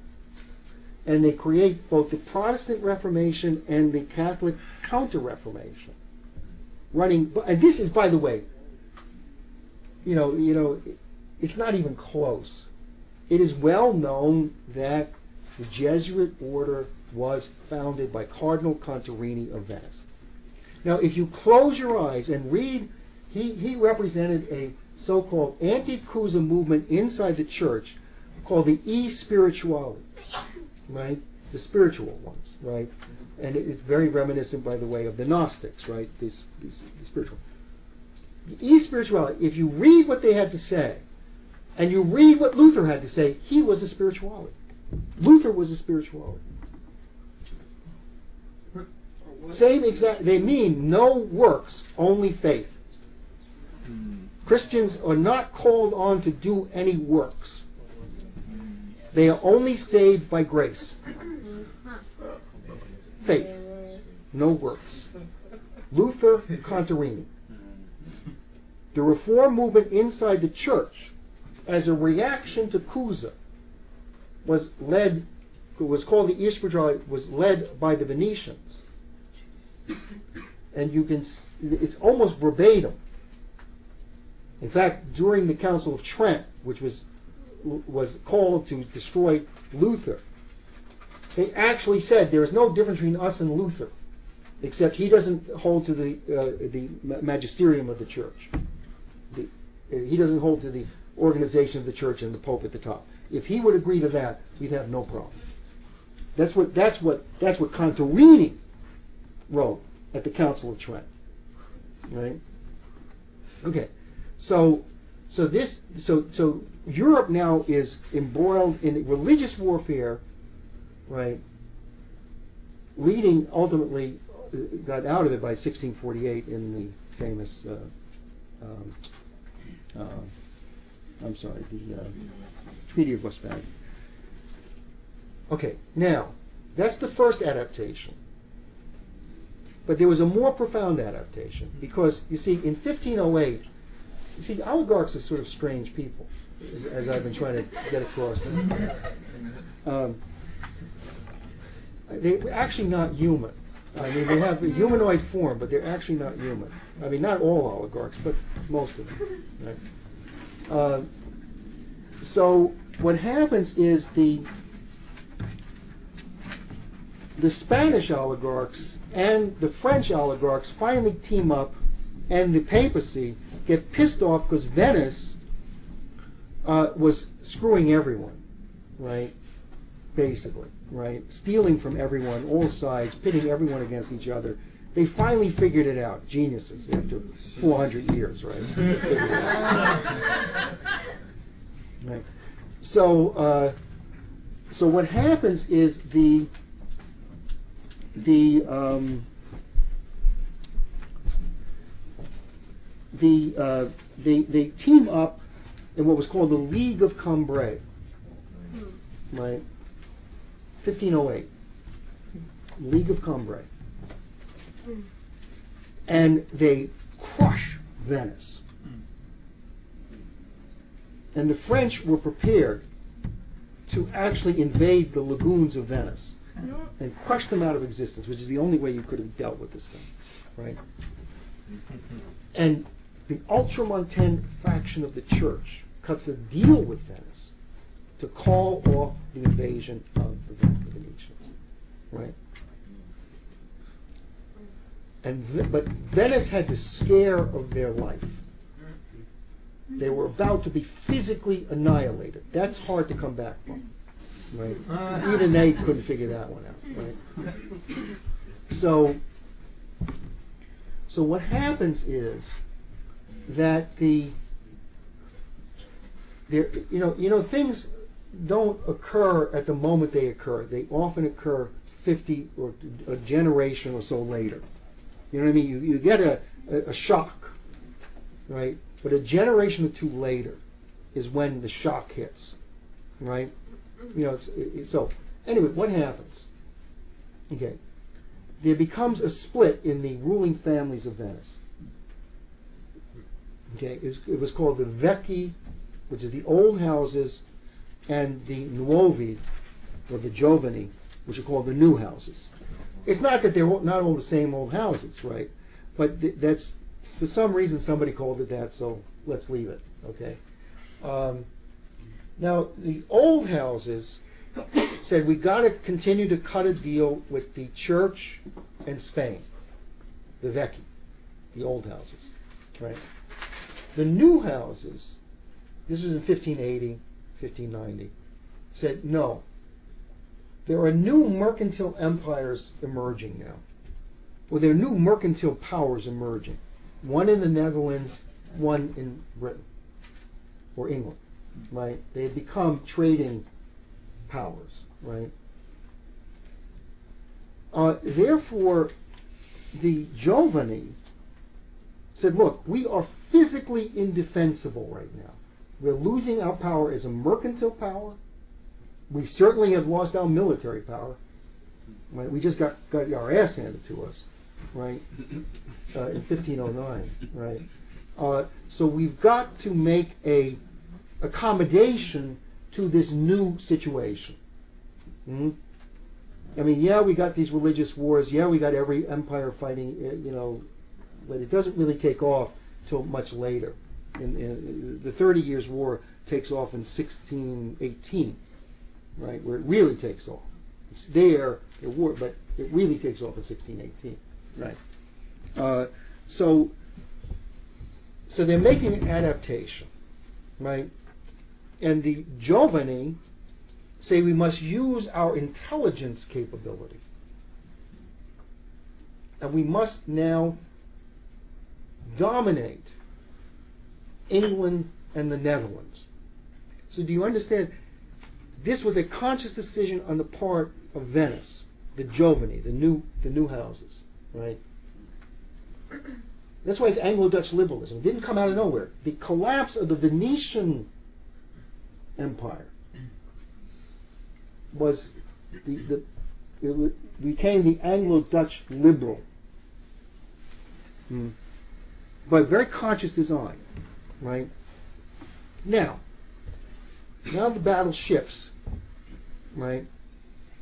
Henry VII establishes a republic, as Shakespeare identifies in this famous uh, Richard III. Right?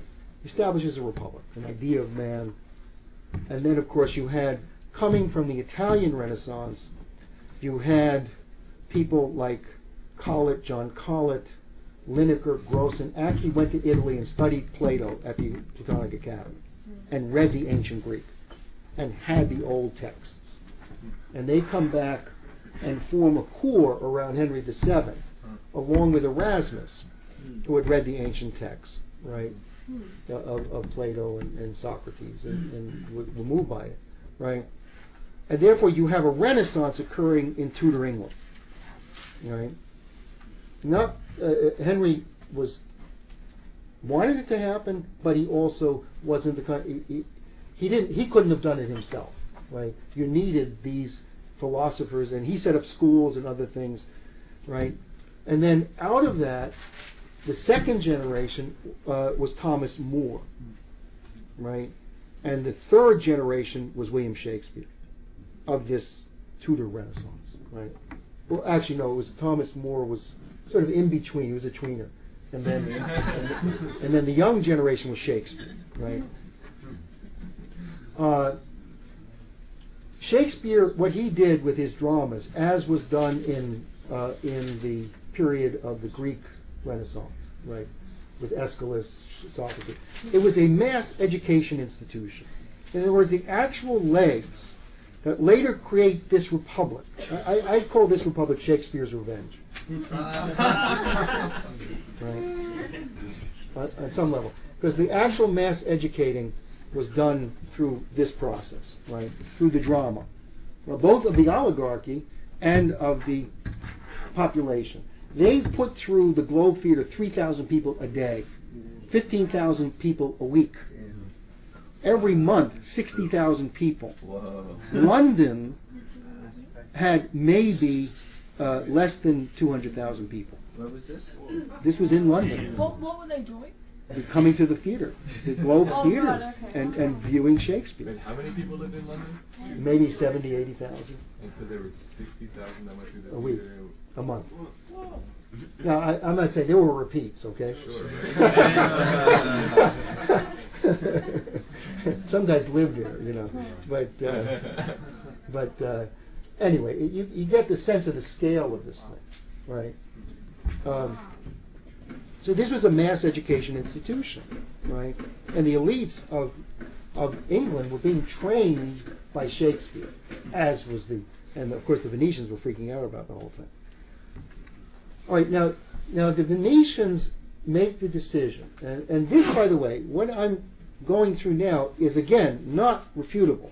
This, this is not, this is not. It's just illiteracy, frankly, not to know this, right?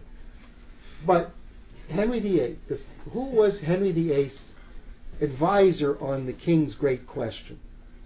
Francesco Zorzi, right? Who was one of the oligarchical families, one of the top 300 oligarchical families of Venice, right? Zorzi also attacks Nicholas of Cusa oh. in the Harmonici Mundi, right? Harmony of the spheres, harmony of the world, right? And of course Kepler attacks him. Right. Okay. Uh, so, uh, and and he's saying, well, Cusa's wrong. Learned ignorance. There's no such thing as learned ignorance, right? That you only have your senses, and therefore anyone who and and you can be mystically zapped or something, but, but, you, but you can't but you can't have knowledge. My Knowledge doesn't come from the series of higher hypotheses, right? Okay. So it's Francesco Zorzi. Henry VIII breaks with what? He breaks with not just the church, but he breaks with Spain because he was married to Catherine of Aragon. Right? De Vecchi wanted the Spanish church thing. The Nuovi wanted a Protestant break-in. Hmm? Even though they were all over the church. Venice is a sweet, sweet bunch of guys, right? so anyway, so uh, so he breaks, as you know, with the, the creates his own church, right? Uh, which he's the spiritual leader, and he kills about eight wives. As part of being the spiritual leader, he beheads about eight women. Uh, again, uh, not really Christianity. Um, uh huh. The Anglican Church. It becomes the Anglican Church, right? Okay. Then, after his death, who comes back to power but the Catholics? Because remember, he was a Catholic. Everyone was a Catholic. There was no Protestants. so, so, so all of a sudden, Mary, his sister, comes back, and who is her top advisor? Reginald Pole. Reginald Pole was one of the top Venetian families in Venice. Venetian family, even though he has a funny English name. Not very Italian. Not very Italian name, but Paul. Maybe it was Polito. I don't know, whatever. But uh, or Polissimo, whatever.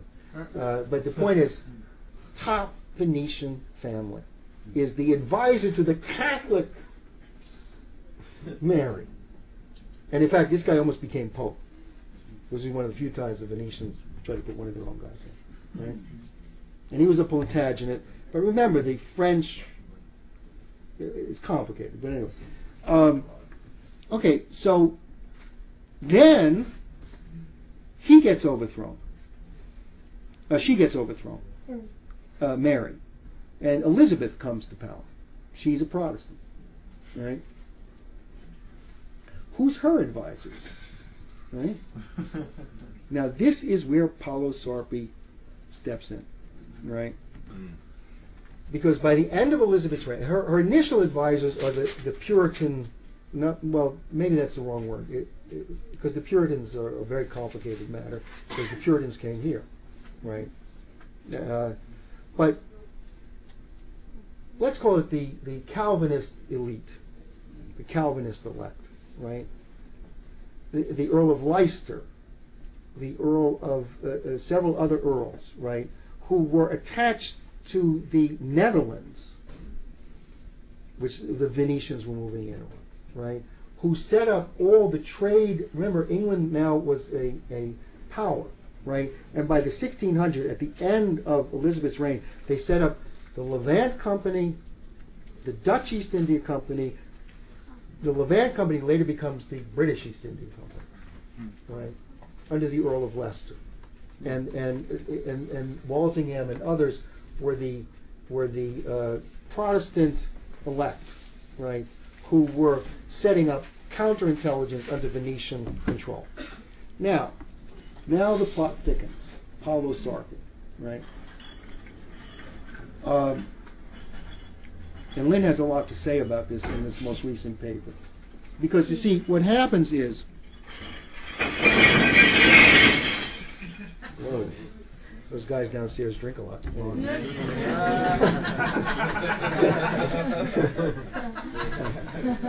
anyway, uh, so uh,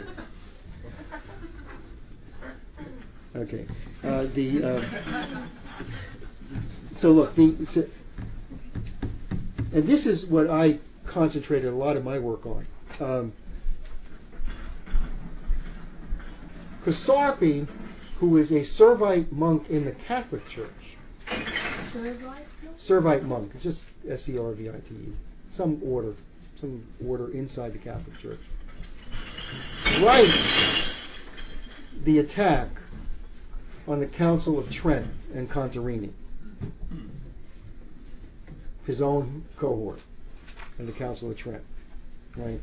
He becomes very famous because the the Catholic Church, the Ultramont, no, not the Ultramont, well, I guess they were Ultramontane. The Catholic Church wanted to impose on Venice what they imposed on every other nation on the globe, or every other city-state on the globe, is that they elect the clergy in the city. There was a brawl, which was uh, uh, right, and God knows it was probably somebody inside the church who decided to set up this brawl, both sides of the church, right? Anyway, Sarpi becomes the defender of Venice against the imposition of the clergy by the papacy inside Venice. Right? He becomes the, the, the lawyer, right? Because he had written an attack on the Council of Trent and the corruption on the Council of Trent. Okay. Is there any English translation? Yeah, yeah, there is actually. Um, it became, in fact, it was first translated into English because it was the English under Sir Henry Wotton who translated his attack on the Council of Trent because the English had broken from the Catholic Church. They set up their own Anglican church, and they were in a brawl. So Sarpi becomes the uh, uh, leader of the English in their attack on the church. He's first translated into English, this attack. Who is his close ally? Listen to this. Thomas Hobbes. And Thomas Hobbes writes the Leviathan. And it's the first official attempt At establishing a nation that had no relationship to God. Right? No relationship to higher truth. Based on hedonistic principles of whoever's got the power to rule is the legitimate ruler. That legitimacy comes from a social contract.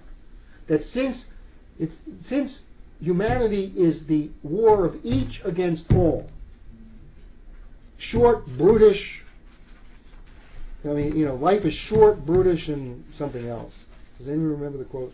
Nasty brutish. Nasty, brutish, and short.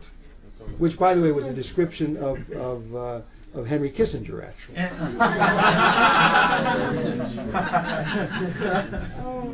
Anyway, uh,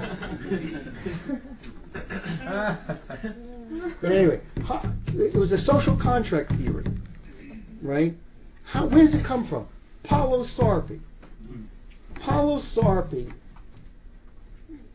uh, establishes, even worse than Aristotle, empiricism.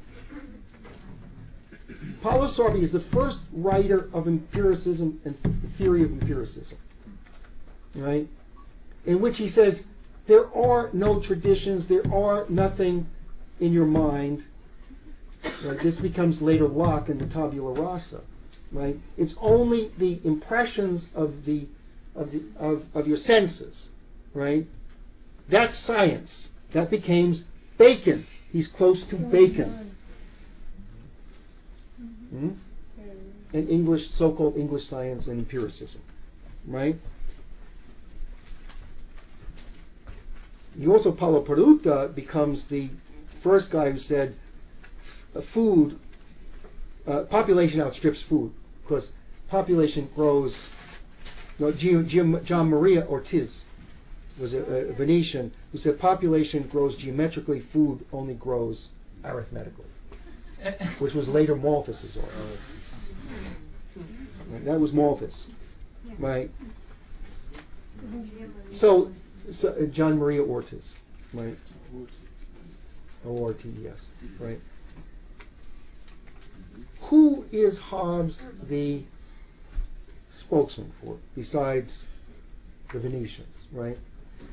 He becomes the spokesman for Oliver Cromwell and the overthrowing of the English crown, who thoroughly deserved to be overthrown. But you see, Venice, they don't give a shit.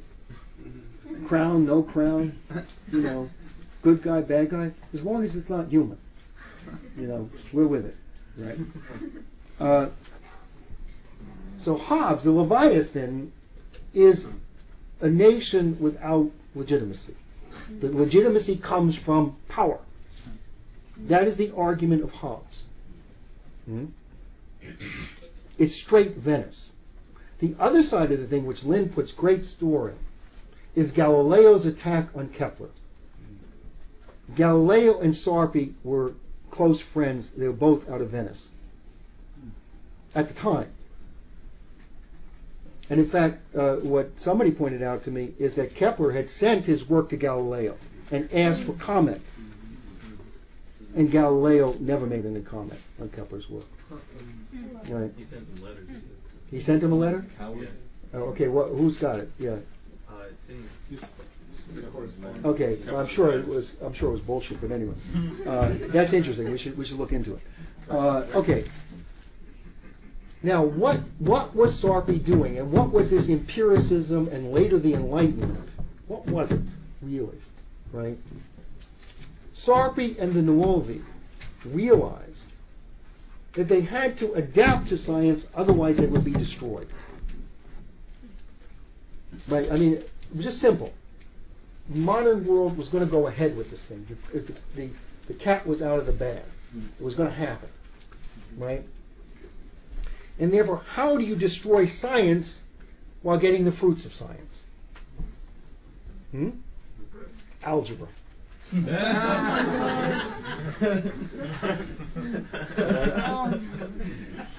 reduce everything to a formula where you get a result, but never how you came to that hypothesis. Hmm? This is engineering school today. These poor guys are still suffering because of Paolo Sarpi. If they want to spring up, they're pissed off. They should have make dolls of Paolo Sarpi and start sticking it. Burn them in effigy. That's the reason. That is the reason. And Galileo and and Bacon and this other crowd. That is, but they had to appropriate the fruits of science without the concept of man, which you can't do. Hmm? Okay. So this abomination, by, and you're talking about 1640, 1630, 1640, becomes the dominant philosophical tendency inside Britain directly. Now, more interestingly, right, the actual banking system, Venice survived another way, which no one talks about. They could not compete physically with Britain or the Netherlands. So they set up an international monetary system using gold and silver. Mm. And they speculated the only production they had was gold mines and silver mines. Hmm. And the only routes they protected was gold and silver routes. And they set up arbitrage and different differing relations between gold and silver. So they survived epistemologically, hmm. right? And also physically, not as a physical power, but an intelligence power, based upon central banking mm, and the manipulation of hard currency, which is the only currency that there was, right? That's how they survived. Okay, now the plot thickens, right? Then we get to the first point of our discussion this morning, right? After Cromwell was defeated, and he was defeated, um, you had Charles II. Charles I was beheaded. Cromwell came into power. Charles II, the Restoration, was. I mean, again, nobody's really good in this, uh, you know, except for a couple of people. Nobody's. Don't look for the good guys and the bad guys. You'll get totally confused. Right? Charles was a uh, was a lunatic, right? But he was a king. Uh, and also uh, James. Charles was a Protestant. Well, Charles was okay with Protestantism. James was not. He got manipulated and decided they had to go back to Catholicism. So he was overthrown, right? And who comes in? And this is where the American Revolution actually starts, right? Who comes in is, as I said, William and Mary, as a, as the overthrowing of James II, right? Who brings him in? Literally, the Venetian party of England was later called by Disraeli the Venetian party of England. Right? Who were they? The Whig grandees, the Whig uh, holders, landholders. Right? This was, uh, and as, as Graham goes through, under George the First, right, who was the first um, uh, German Hanoverian king, right, was that the the Marlborough was Churchill, Winston Churchill's great great great great great great great grandfather, right? The Marlboroughs, right, are the ones who invite William into England.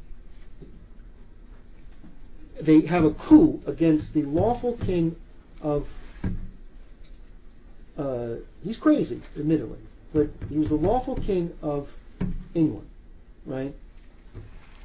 The large landholding estates, right, and the stock jobbers and the most corrupt elements of England invite William and Mary into the throne of England. And they take over. In other words, William didn't run anything and died fairly young. George didn't even speak English. Hmm. The first George I did not speak English. He was not an English king. George III spoke English, but he was insane. Right? Right?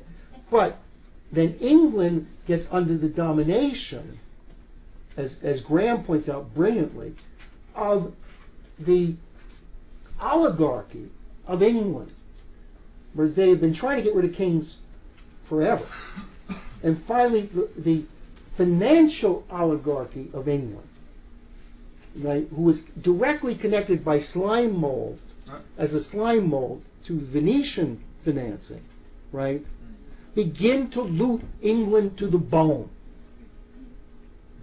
Hmm? And they start a war with France the second they get in. And this war with France indebted England. And these Whig financial oligarchy took the debt that was accrued by England in the war with France and loaned them the money. That money they loaned became the Bank of England. They became the Bank of England with that money. And then they sold scrip to the to the other landed oligarchy of England. And the, then they loot, then they ran the treasury. And they paid 100%, 110%. Hmm? 10% on this stuff. And, and they kept looting the treasury. And this was the first central, official central bank of a nation. Central banking. Based on what? Not the government. There was no government. They brought in a, a other so-called king, who was not a king. At least William spoke a little English, not a lot. Mm-hmm. George I spoke no English, right? To sit there while the financial oligarchy determined the monetary system. Who was the first secre- secretary of the mint? Isaac Newton. Oh. Under this arrangement, Isaac Newton.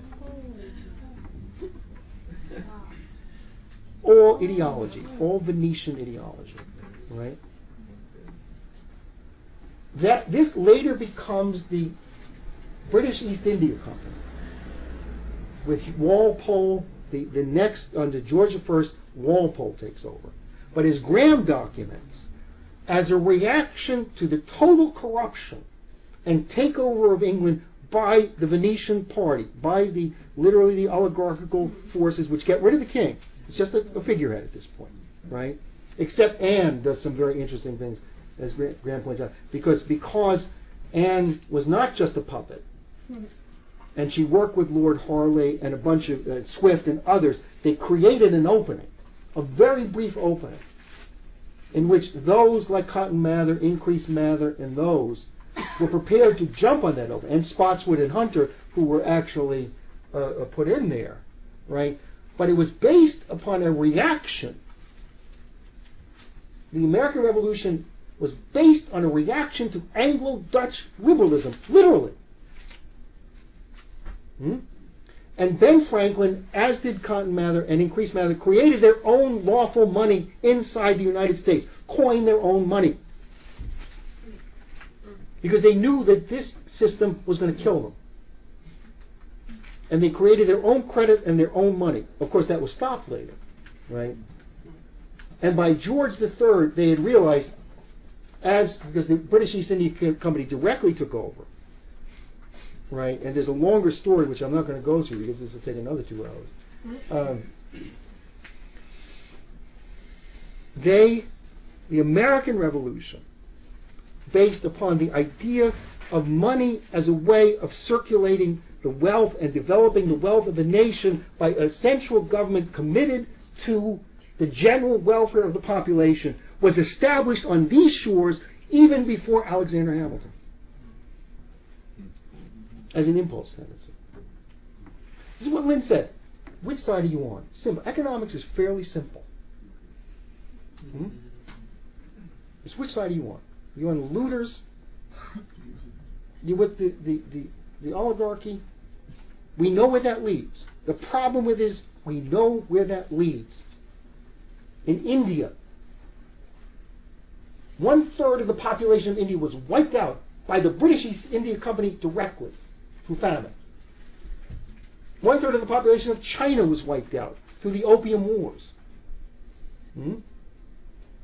British colonialism was a disaster. It was run by these spores. What Lyn says is that what you have are these slime molds, replications of Venetian banking, right? To loot the population, as opposed to a Commonwealth view or an American system view, which was actually a reaction to Anglo-Dutch liberalism. Didn't occur outside of that. That's why I went through all this history. Hmm? It was literally that. So we have to return ourselves to the American system and get rid of this Venetian abomination. So that's what I have.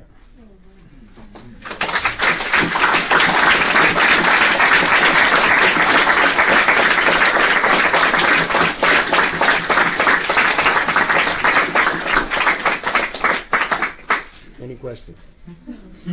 Yeah. I was, I was hoping you'd actually um, get into that other two-hour story. How about this? I'll make you a deal. I'll get into a little of it. Uh, but I'm sure we're going to be having a cadre school next time. Why don't I? I mean, I did go through a thousand years of history. Uh,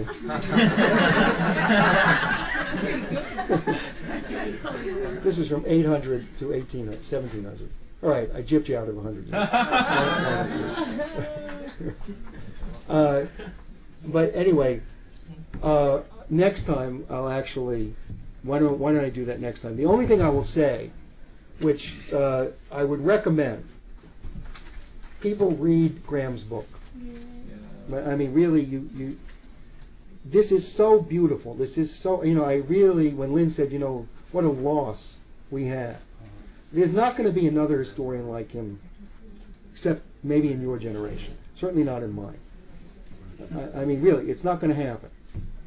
Okay, this is a guy who, this was living history. This was a drama.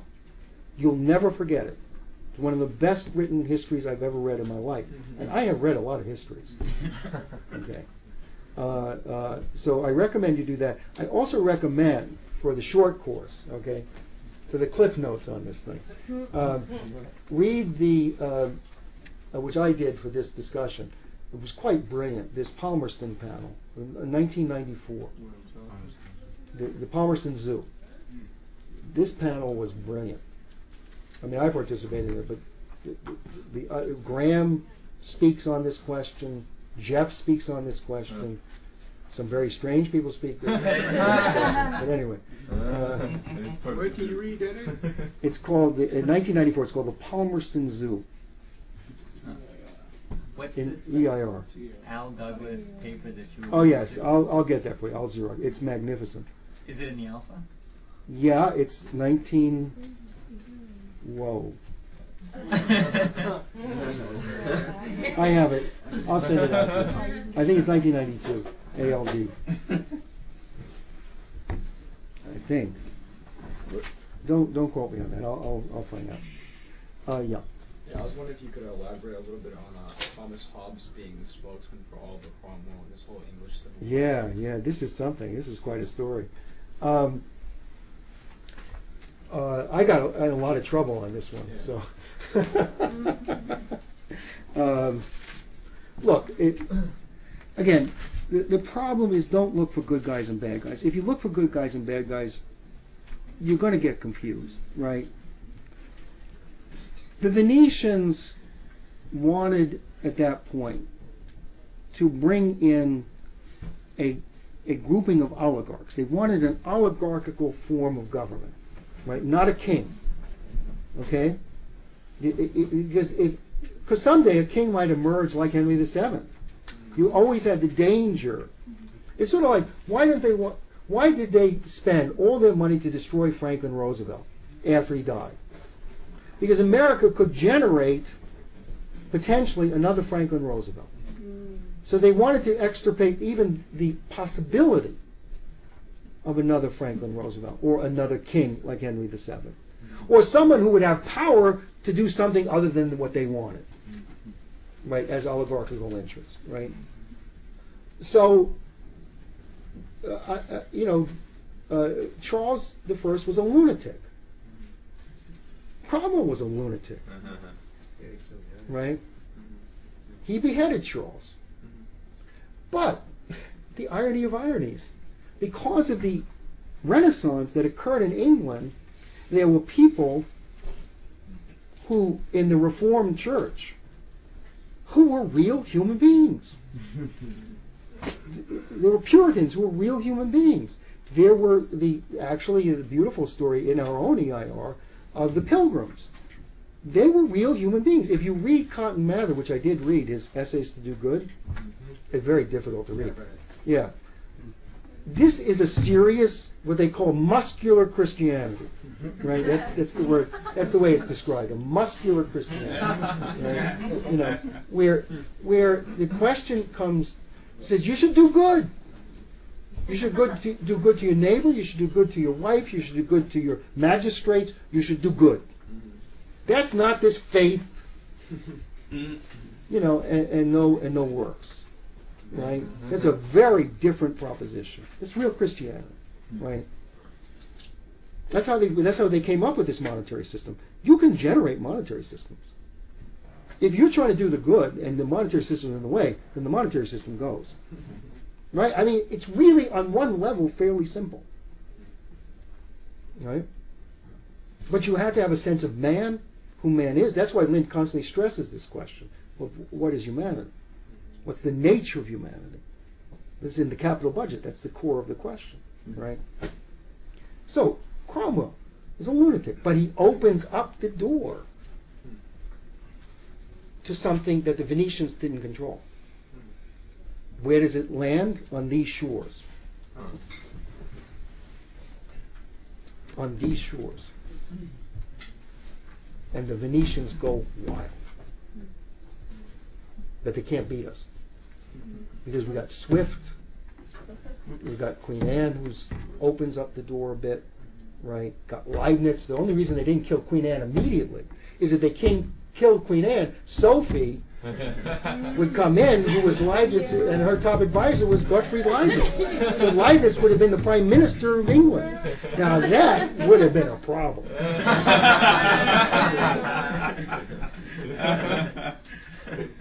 so, so they decided we got to. I mean, what Graham points out is Anne is dead within two months of Sophie dying. Anne was dead within two months of Sophie dying because she was the next in line by not by succession but by an order that they had agreed to right? So so it's a complicated thing right? But it opens the door. So we've got to be thankful for that.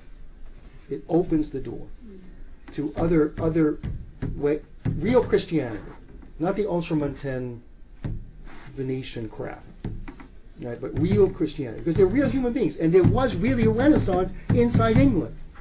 And these people are trained by Shakespeare. They're trained by Colet. They're trained by by uh, uh, Thomas More. They're trained. The schools train them, and then later Shakespeare trains them in statecraft, right? And they and they, they establish on this. I, I, I think it, it is called muscular Christianity. If you read if you read essays to do good, it's a very muscular Christianity. They don't take any shit from kings, and they sure don't take any shit from oligarchs, which is why we have no oligarchs here. That's muscular Christianity. Yeah. Uh, yeah. Well, why don't I get the, the And, and you started to get at this, I think, in terms of uh, what you said about algebra. But um, what about Lyn, Lyn brings this up. I haven't quite digested it, um, but in uh, the capital budgeting paper, the, the role of language Oh yeah. in, uh, in globalization in terms of the need to destroy sovereign language Well, cultures. this is why I try to do a little poetry once in a while. It's, it's almost banned, but anyway, uh, you know, because because it, it's nobody can read it. I can't read it. If you, if you notice, I've never tried to read poetry to anybody.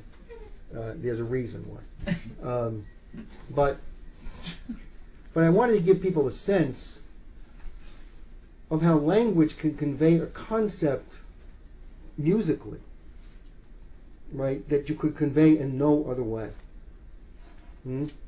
I mean, the spoken word, the sung word, conveys something, and that's why it's so important the work you're doing on the Jesu, right, and the Ave Verum. Hmm? Because because it shows the power of language to evoke humanity. Hmm? If you notice, I used some irony here today, right? Understatement, right? Because that's the only way you can convey the concept. There's no other way to convey it. Humor. There's no other way to convey it, right? So, so, so that's that's why they're so terrified of language. Why, why do you think they, they at every level they're scared of Lyn? Because he's one of the humorous, most humorous men who ever lived. True humor.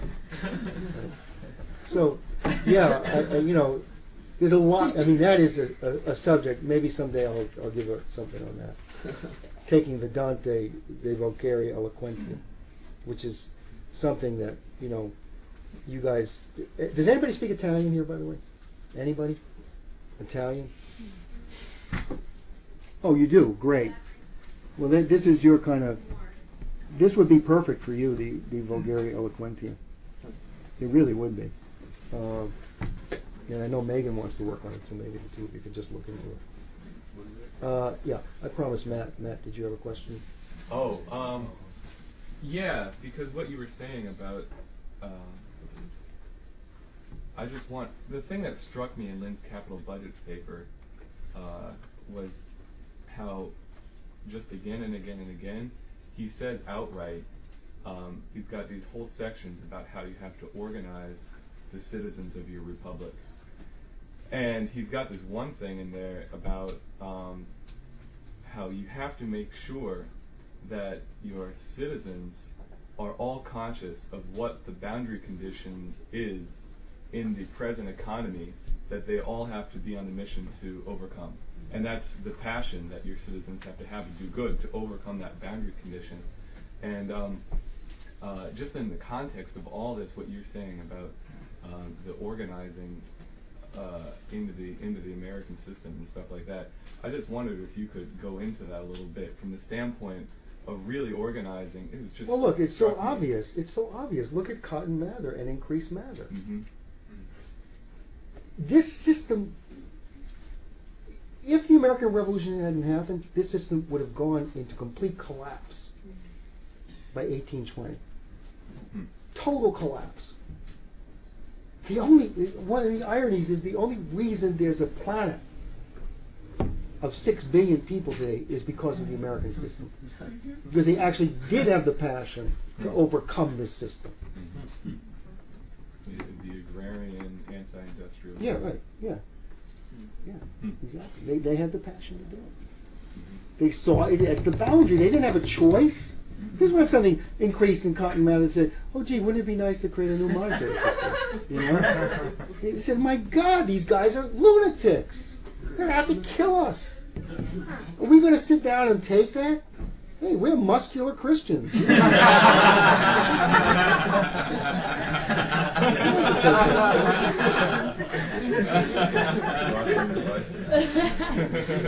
don't take that stuff. And they didn't. And their, uh, their passion was to do good. So that's that's how it worked. It's a beautiful story. It's an incredible story, and only Graham could tell it. I'm not going to tell that story. Read Graham. I'll tell other stories, but I won't tell that one. Yeah. Can you uh, develop some of Shakespeare's method of statecraft? How he goes I gave like three classes. uh, well, I mean, let me do it in a different way. Um, let me give you a concrete example of how it worked. Okay, and that's in the in uh, the education of Abraham Lincoln, right? Because uh, in the article I wrote on this, it's called Abraham Lincoln: Shakespeare's Revenge. Right. Th- this is true. This is not again. This is all on the record, right?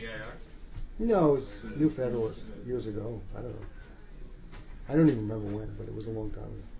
Um, okay, now, what was Lincoln's? Lincoln was not a quote college-educated man.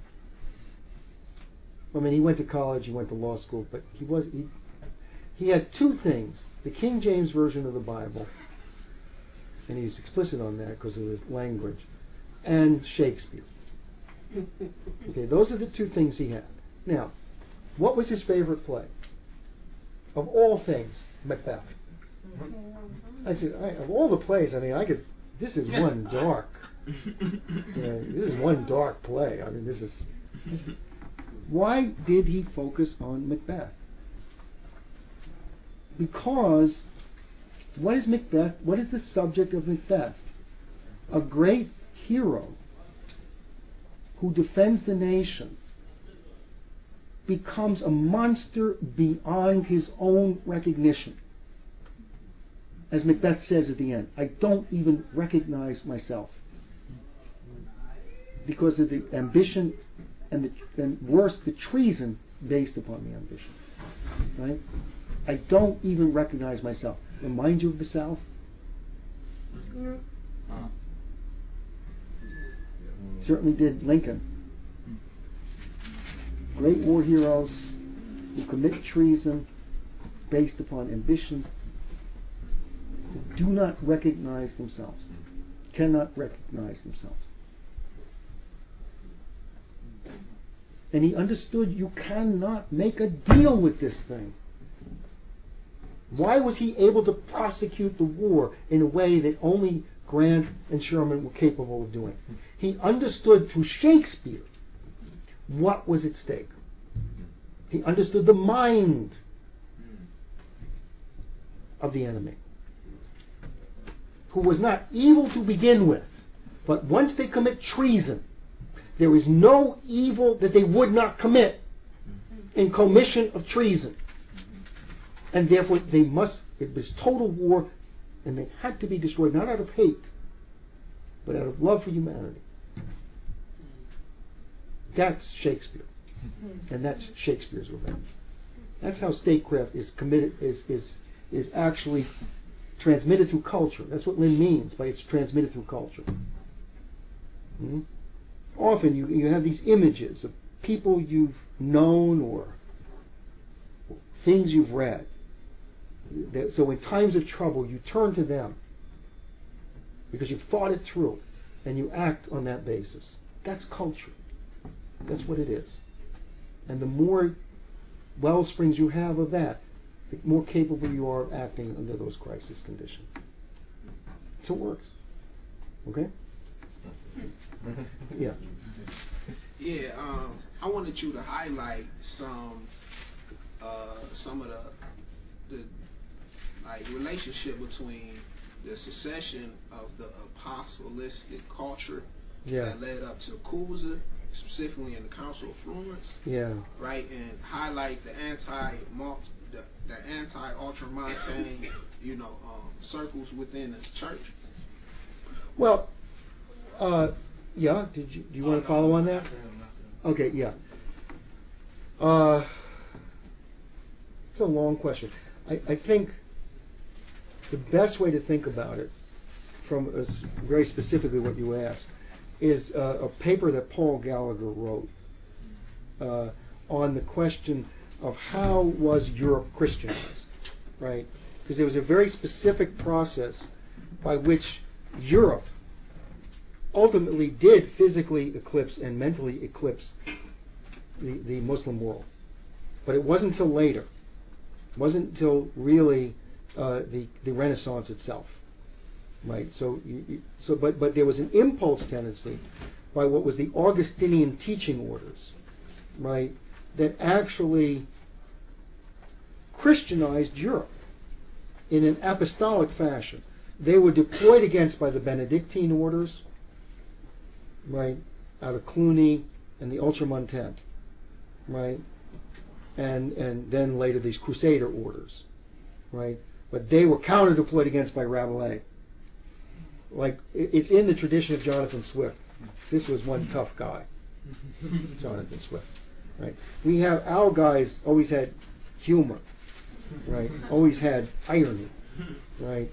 Uh, you know, St. Patrick, Columba, Columbine had irony. In fact, I was told that uh, uh, St. Patrick, and this goes to this language question, really learned the language of the Saxons and the stories of the Saxons to convey the, the concepts of Christianity, right? So our guys had, had weapons our enemies do not have, and have always had weapons our enemies don't have. You know, so uh, uh, that's in sketch, but but I would recommend. Does anybody know where the Gallagher paper is? You know where the Gallagher paper is. Can you get it? The, how Irish were. Yeah, yeah. Yeah. Yeah. It's a book. It's with, uh, No, no, that's a different one. Yeah, but Gallagher wrote a paper, something like that. What's it called? I think it's a review of the book, but Paul. No, no, this is better. He's got, he's got. But he- he- yeah, he, he wrote. wrote an article Yeah, on but that's that's in that sense that's the story. So I would recommend you read that. Yeah. Yeah, I was wondering if you could. No, uh, actually, I was uh, this young man. Yeah, I had a question. Uh, I missed what you said about the Vikings. Like who, um, Yeah. like who deployed them, and like what were the? Uh, Interesting. Uh, well, you know, the Vikings um, uh, came from Scandinavia. Uh, they uh, were basically nomadic tribes from Scandinavia. You know what I mean? They, they were nomads. They they wandered. They they didn't really farm. They fished a bit, but they mainly looted, right? Uh, and I'm sure that's a degeneration of a previous culture. I just don't know the story. I you don't end up fish looting. you don't start that way. You know? Hey, let's loot. You know, it's not human, right? I, I'm sure it's, it's. I'm sure there was a higher culture at one point in that area of the world, right? And that degenerated. What you, what you were seeing in the Vikings is the degeneration, I'm sure, of a higher culture and a higher language. Uh, I'm sure of it. I just don't know the story. But but but th- they were deployed by the Venetians uh, because the Venetians ran their trading routes. They they also brought stuff. They, as they stole things, they had to fence it. Okay, they needed a fence, right? The Venetians were their fence. They, they'd steal it and give it to the Venetians. The Venetians would give them money or food. I don't know what they did, right? And uh, but but that was the the, the combination. So that's. Uh, I'm sorry, I don't know that, but if you're interested in it, there's ways of, of researching it. Uh, let's see. Yeah. Do, do, do you know how, I was wondering, how did the Normans get deployed to the Crusades? Were they Christian? Yeah, yeah. They were by then they had become Christian, Oh. but you know, eh, what are you, what are you going to say? You know, uh, they were probably committing so many sins. Well, actually, they were they were. First of all, the Venetians were telling them, "Look, you can loot the hell out of the place, and there's a lot of wealth there." That's how the, all the Venetian, all the Norman lords, had become Christians because they thought they could get rich with the with the okay of the church. So this, as I said, this is not muscular Christianity. This is just lunacy. lunacy. But uh, that, that's who they were. They, they, they're not. As I said, except for this one guy, they're mainly an embarrassment. You know, I mean, nobody really brags about Norman culture. this guy did, but yeah. One guy. I I had two questions. Sure. One is uh, the uh, the sort of relationship between the uh, Venetian and the Chinese because Yeah. I read uh, I think it was a pamphlet called Venetian that we put out. Yeah, Marco Polo. Yeah, and he talks a lot about he talks a little bit about that relationship, but I, I've never really had a much more deeper insight. Yeah, I, I mean, again, Gallagher does a very interesting thing in Fidelio. He did a lot of this work on the eastern side of the thing. There was a famous Venetian by the name of Marco Polo. He was Venetian, right?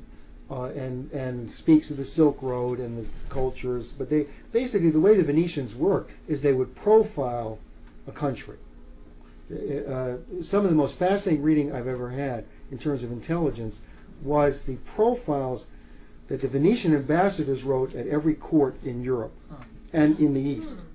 In other words, what they did was they sent um, their, their, their oligarch, these were oligarch sons, right, with, with the Venetian ambassadors court. Remember the famous Holbein, you may have seen this. Holbein writes The Ambassadors, and there's a death's head, right? Those were two Venetians. Hmm. Right? Because the Venetian ambassador corps was profiling everything in Europe, everything in Asia, every government, the Turks, every force that could be. Because they had to trade with every single one of these courts, right? So what the what the Venetians would do, Marco Polo being one of them, would write profiles of the different countries and how you could play one against the other. What was the weakness? They obviously realized Henry VIII had a weakness. Okay, I mean for the ladies, he had a weakness. Okay, and uh, and they figured that out fairly early on, uh, uh, and they they dangled some bait out there, and you know, it was he was a goner at that point. Um, this is one of the problems. They do they profile every single court, every single person in court. They, they were master profiles, right? And therefore, they profile the Chinese court. They profile the Seljuk Turk court. They they profile the different court. They profiled Attila the Hun.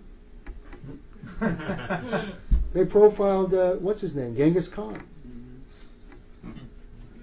After the fact, or No, no. While it was going on, they were they were trading with Attila the Hun, Genghis Khan. They traded with everybody. You know. Yeah. Uh, another question I had is how how do you read Schiller, Schiller's Thirty Years War?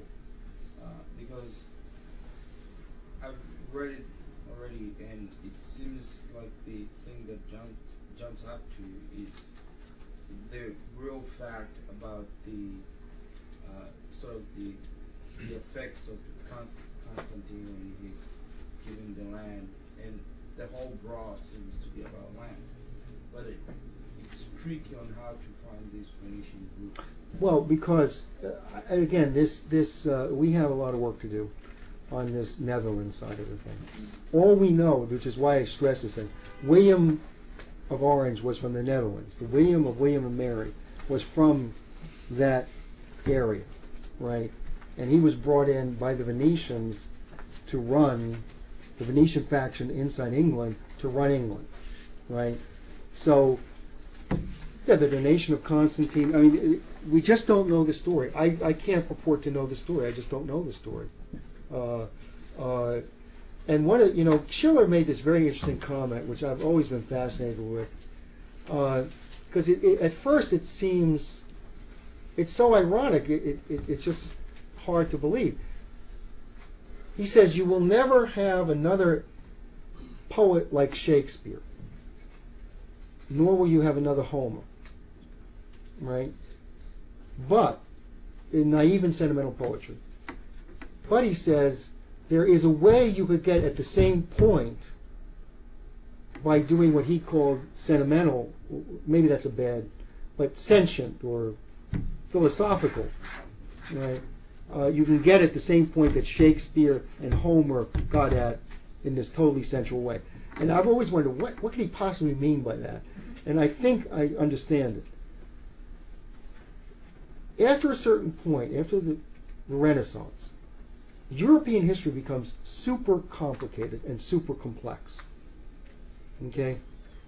Up until that point, there were individuals, they could individually run history. I think it, if Schiller had lived later, you could write a, a, a fantastic drama about about uh, frankly Franklin Delano Roosevelt, Hamilton. He just didn't know them that well, right? Uh, but uh, yeah, someday anyway.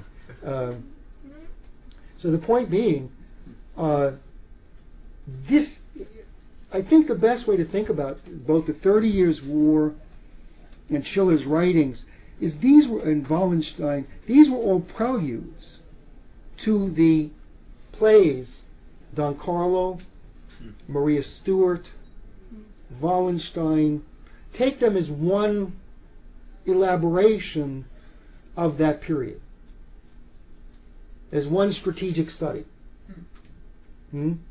based upon the revolt of the Netherlands and the Thirty Years' War, right? And then you'll get at it. That's the actual history, as Schiller saw it, and he was the, one of the most brilliant historians, if not the most brilliant historian that ever lived. Which is why he had to write drama.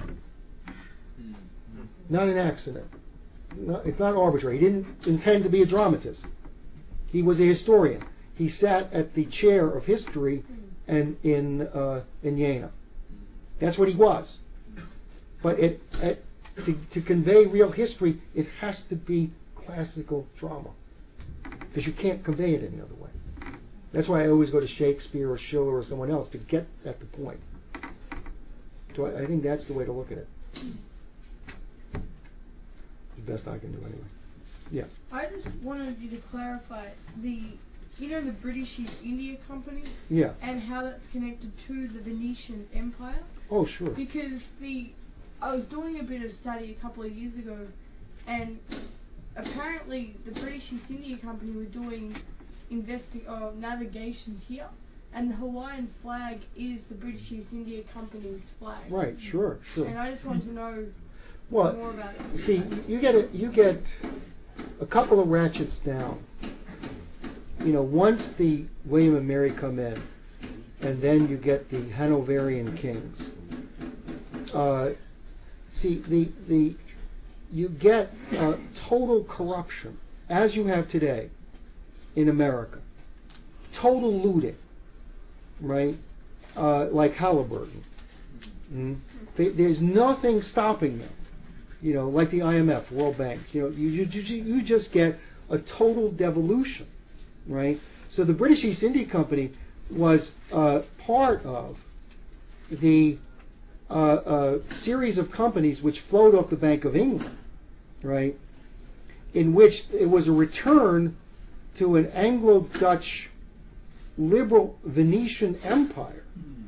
It was Venetian in the sense of looting these countries for financial interests. Hmm? That's what it was. Now, you couldn't have gotten that unless you had a total breakdown of any kingship and you were going for a globalized empire under the Venetian Venetian model globalized empire. Hmm? That, that's what they were going for at that point. Now, because it was so bad, America was created. As, as, as Matthew said, I thought his question was very well taken, right? They had no choice. We had no choice. This was not a good idea. This was survival. America had no choice but to break with England and the British East India Company. You want to know the irony? You know the famous British tea that came to the United States that so-called sparked the revolution in Boston? British East India Company tea. They were ex- they were importing it from um, India to Boston, and nobody was going to drink that tea because they would have to pay an excise tariff on it. So they were going to make them pay the excise tariff anyway to pay the British East India Company. So people jumped the ship, and there was quite a tea party in the Boston Harbor at that point. It's true. That's that's what happened. It was it was British East India Company tea, and they were going to start imposing British East India Company looting on the United States, and they said, "Okay, you want you're going to charge us for the tea? It's not going to disembark. It's going to be thrown in the harbor." And they dressed up as Indians, you know, to do it. They had a sense of humor in those days. Could you say a bit more on the uh, idea of no works, um, only faith, that came out of the uh, Protestant Reformation? Yeah, sure, yeah. Then, and the connection with that and the Puritans. Well, you see, the Puritans are a complicated matter, right? As I said, many Puritans came here and they had what I call the muscular Christianity, works, buddy.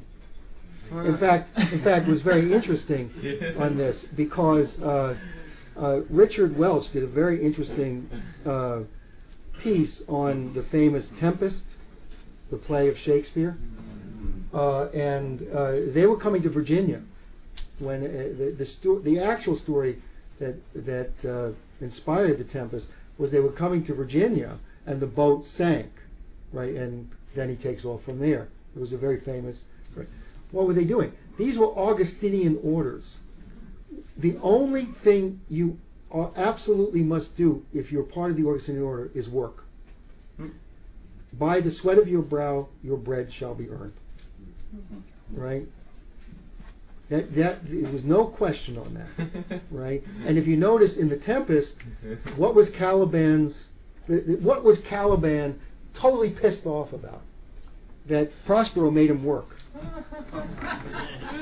Right? He was the original hippie, right? you know, this was the terrible burden. He wanted to drink, as Trinculo found out, right? Uh, so, so this question of salvation through works, right, as an affirmation of your faith, was the real apostolic Christianity. But the spirituality also, look, these fundies are both in the Catholic Church and in the, in all the Protestant churches. They're fundies in the Catholic Church. They're about as bad as anyone else, right? You, you know. So that's that's sort of the split. And the Puritans, as I said, were a very complicated question because many Puritans came here. Increase Mather, you know, uh, uh, Cotton Mather, were Puritans. Winthrop Huh? Winthrop too. Winthrop, Puritans. So, you know, as I said, humans are. But what they really were, forget about giving them a label, what they really were, were the offshoot of the English Renaissance and an idea of man. Right? It- it- Pur- There there was a misnomer to call them Puritans. They were Republicans. Uh, you, do you know if these guys brought any Shakespeare over to the original? I'm sure they did. I. I, there's no way they didn't. Although it got pretty weird because they, they banned Shakespeare too. So it's- yeah, yeah, they banned Shakespeare. First they tried to Bowdlerize him. Literally, this guy Bowdler. They, they, they tried to, in which they tried to take out all the political and related implications. Uh, Bowdler, this guy Bowdler, Bowdlerization. And he tried to take all the good parts out of Shakespeare. Right? Uh, uh, everything polemical. They took anything that might offend the Restoration King. They were goofy. I mean, there's a lot of goofy things in English. Right? Okay, and then that didn't work, so Pope tried to rhyme Shakespeare, rhyming couplets. They changed the language to make it rhyming couplets, which was really stupid, right? Uh, so therefore, the irony is, of course, Shakespeare comes back through the German translations. You couldn't get Shakespeare in English after the Restoration. You couldn't do it in English. They were just screwing it up. I mean, they were literally rewriting the thing. Sort of like these Hollywood plays, you know, this uh, Hollywood rewrites. You know. Uh, so it's pure entertainment. The, the, the real ironies, the real devastating ironies, were taken out. So it was wasn't until Shakespeare was retranslated into German by Lessing, by the group around Lessing, and re, and played by Goethe and Schiller in German, in literate German, that the Shakespeare got revived back into English. He was so hot. He was so devastated, right, that they, they wouldn't touch him. They were too frightened of him. But the Germans, during this Republican revival with Kestner, and then you know the people around Kestner, you know, they they revived Shakespeare. Schiller revived Shakespeare, right? Goethe revived Shakespeare, and then when? Been a long, and this is his 400th something of his death. I think death or birth. It's 400th anniversary of something. Death. His 400th anniversary of his death. And they don't know what to do. I mean, I don't know if you've ever seen a Shakespeare play. Uh, it is so bad. It is so disgusting. They try to do it in modern costume. This is the all the rage in in in uh, in Hollywood, but but not just Hollywood. It's all the rage in in Washington. You know, I used to. I, you know, I was desperate. You know, I said, "All right, well, at least I'll hear the language." I couldn't even stand it.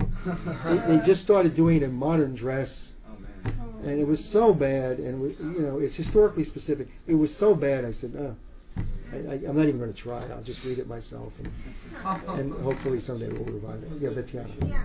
Um, I was like, um, I I I'm, I've been trying to understand uh, this crusade process. Yeah. Like, um, how is it possible that they this ultramontane system was establishing a economic and and political system with the Crusades that was actually that they know they knew it was gonna be self-destructive. Well, you see, they don't. They don't believe. Look, as I said, that's why we can't really give the oligarchs big credit. Yeah, that's that's what I'm thinking because it it makes me think that actually they are more like their minds is acting like existentialist teenagers. And so how how is it possible that uh, it's the same situation we have today with Bush and everything that's happening with Dick Cheney. Sure, sure. So how how But it's the British. You see, this is why Lyn said this is not Bush, this is not Cheney. Remember, Lyn says it's the British. I hope you understand that a little bit differently before, after today's discussion. The British are the Venetians.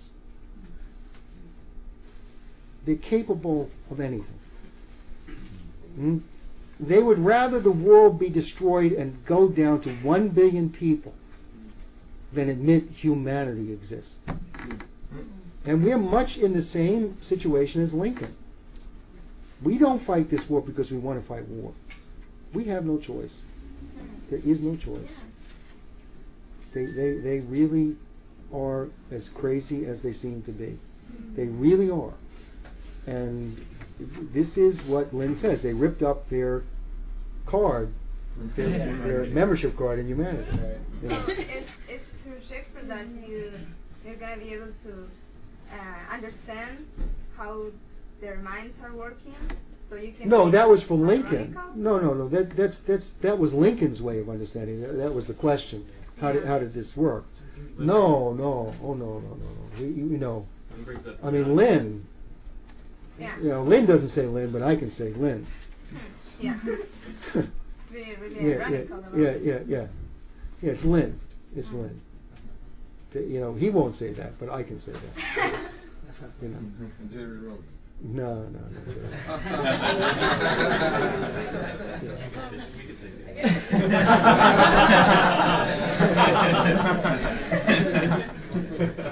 don't know, how did the Venetians get, get to England in the first place? Well, you know, it's it's interesting. I was thinking about that. You know, um, is the best I can do right now, because you see, here's your problem. You've got two levels always functioning when you study history. You've got the visible, right, which which you can, which which uh, at the boundary conditions you can say something fairly decisive, right, because they can't totally avoid reality, right. So at boundary like 1509, when the Venetians almost got wiped out, physically annihilated, this was a big thing for them, right? I mean, you know that, right? That's one benchmark or characteristic or boundary condition, right? Then the Renaissance was a big boundary condition, and you see their reaction to that, right? In a sense, you can see it almost as a reaction to the development of humanity. Mm? After the Renaissance, not before, but after. Okay. Now, it wasn't particular to England except for the fact that England and the Netherlands had large fleets and were not only competing with the Venetians but outcompeting the Venetians. And were moving into the Levant and the eastern areas, right? Uh, so, in a sense, the Venetians' intelligence service, this is where the invisible side of the thing comes, right? Or you, once you read, if you've ever read a Venetian ambassador's report, right, you'll know what you're dealing with here. Okay, and if you read Schiller's Ghost here, you'll know what you're dealing with here, right? Uh, their intelligence reports would tell them Britain is a powerful competitor.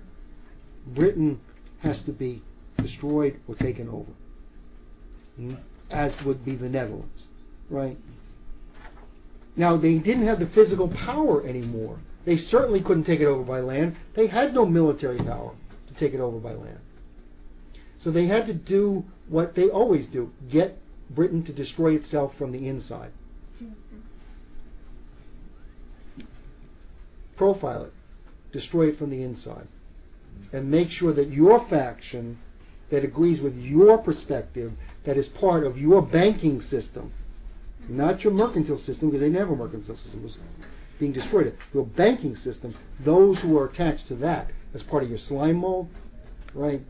Those are the guys who have to come to power. I, I think it's something like that. Hard to document, although in principle it's, it's a dynamic, and therefore you can say with great force, this was the dynamic. I think that's the best way. To, that's what we can do anyway. Graham, Graham goes through a lot of how this stuff worked in the uh, in the book. Yeah, yeah. Well, Graham is unbelievable, but he doesn't go specifically through the Venetians per se. That's that's I think what what she was asking. Um, but I, uh, you know, anyway. Well, on this on this question of the British question, like today, in my mind at least, the the British don't really have any political power. Uh, you know, at least since the end of World War II. So, you know, LaRouche always references this question of the British, and I'm, I mean, is he being uh, literal, or is he kind of sort of just using that as a historical reference? No, oh no, this is literal. element? This is literal. Just as the Venetians, they don't have to have physical power. They what they do is they profile every single culture, and they pit through religious warfare, which is their favorite tool, which is Harry, which is Kissinger, Harrington, uh, uh, not Harrington. I'm sorry, uh, uh, Huntington, Huntington, right? And they have literally the profile of every single tribe and the history of every tribe in that area. And the names of the guys who are still alive today and how to push the levers on this thing. And then they get this Cheney Bush thing, right? Which is not American. Remember, the American establishment has spoken. That's the Baker Hamilton report. Mm-hmm. Right? They said Iran, Syria, Hamas, Hezbollah, everyone must be brought into the process. That is the American establishment report. Mm-hmm. Okay? What is this Cheney thing? Simmons, British. And, and, and his wife, Lynne Cheney. Mm-hmm. British. Colonialism. Right? So, so no, no, this is how it works. This is not a metaphor. This is, this is really how it works. Yeah. Yeah, I, I know these guys um, have tended to get a little uh, extra bloodthirsty, and you know, like in their zealousness, they'll create a Hitler, create a Frankenstein monster that'll get Yeah. a out of hand. Yeah. And uh, e- even then, it forces them to switch their their procedure and whatnot. And I was wondering today, and it was when I was listening to uh, um, a briefing, and uh, there was a mention that uh, there was a newspaper, London Times, which was giving like almost warnings that this was happening in the Middle East and whatnot. Yeah. Oh, yeah. Do you think that this could have been a Absolutely. Frankenstein monster that was? Absolutely, absolutely, absolutely, absolutely. Mhm. So now that try, do you think there's a window of opportunity now that we could? Well, yes, use in there? yes, yes, yes. That's how history works. I mean, you look at this Queen Anne thing. She was under the control totally of the Marlboroughs and the Godolphin of the, uh, you know, when when they first came in. She was the daughter of uh, James the no no that was uh, she was the daughter of William and Mary, right? And she was totally pushed around and controlled. At a certain point, she revolted. She said, "Look, I'm the queen. Screw you guys." And then she, because of Harley and Lord Harley and others who were humanists, because of the there, there was a humanist faction inside England. She, in 1710, made a break with these guys, fired them, and worked with uh, Swift and Harlan, right? that opened the situation for the United States. That's how we were created. It's really how we were created, right? So yes, there are splits. The French are not particularly thrilled with this one. They're not happy with this. We're in a good situation, right? We're in a good situation. The British are in a weakened situation, so we just got to press the advantage up. Aside from the, uh, the French, in your opinion, do you think strategically of any other, can you think of, off the top of your mind, of any other uh, um, forces at work in, in Europe that might be taking this opportunity? Not so much. No, Lyn's very plain on that question. He knows the European forces. No, you see, the reason the U.S. thing works is because we we won on November seventh. We won, not the oligarchy, not a split in the oligarchy. We won. they didn't want us to win. Dean didn't want us to win. Most of the Democratic Party didn't want us to win, but we won. Right? It's because of us. Right? So that is defining the manifold in which the Baker Hamilton, or as Jeff has said very forcefully, as Lyn would say, because we went on November 7th, the Baker Hamilton report was the way it was.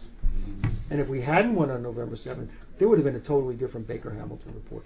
The oligarchs are not that great on courage either. They, yeah, yeah. Can you go through the, um, Oh, sure. um, construction of the Haileybury School? Yeah. And, uh, the Sh- the Shelburne, uh, well, mainly the Haileybury School, and where that, because that seems like the, the intellectual That is, center. yeah, right, of economics. Of economics. Yeah, sure. Sure. just haven't found anything. Sure. Well, Jeff has a, as I said, in this uh, Palmerston Zoo. Okay. Right. Okay. But uh, look, the way it works, the British East India Company set up a school of so-called philosophers and economists. Uh, it was called the Haileybury School. Right. This is where John Stuart Mill uh, um and uh, well, John Stuart Mill, John Mill, John Stuart family. Mill, huh? The whole family. Yeah, right. And also Adam Smith was before that uh, in 1776 under Shelburne. But anyway, uh, this Haileybury School was connected literally to the British East India Company. And they were arguing not just social contract theory, right? Because that was argued much earlier. But they were arguing that uh, um, uh, looting, right, was actual wealth, right? In, in other words, that, that, that uh, the price you got, right, will always go up because you're always using more and more marginal resources. And the price you got would always go up because we're in an entropic universe and we're using up our resources, right? And it was it was an explicit argument for the need for robbers for each country to have effective looters because that was wealth. Okay, that was the theory behind the Haileybury School. And Marx bought into it, but didn't like the result, right? Saying, well, you can't loot, or if, well, actually, it was even crazier.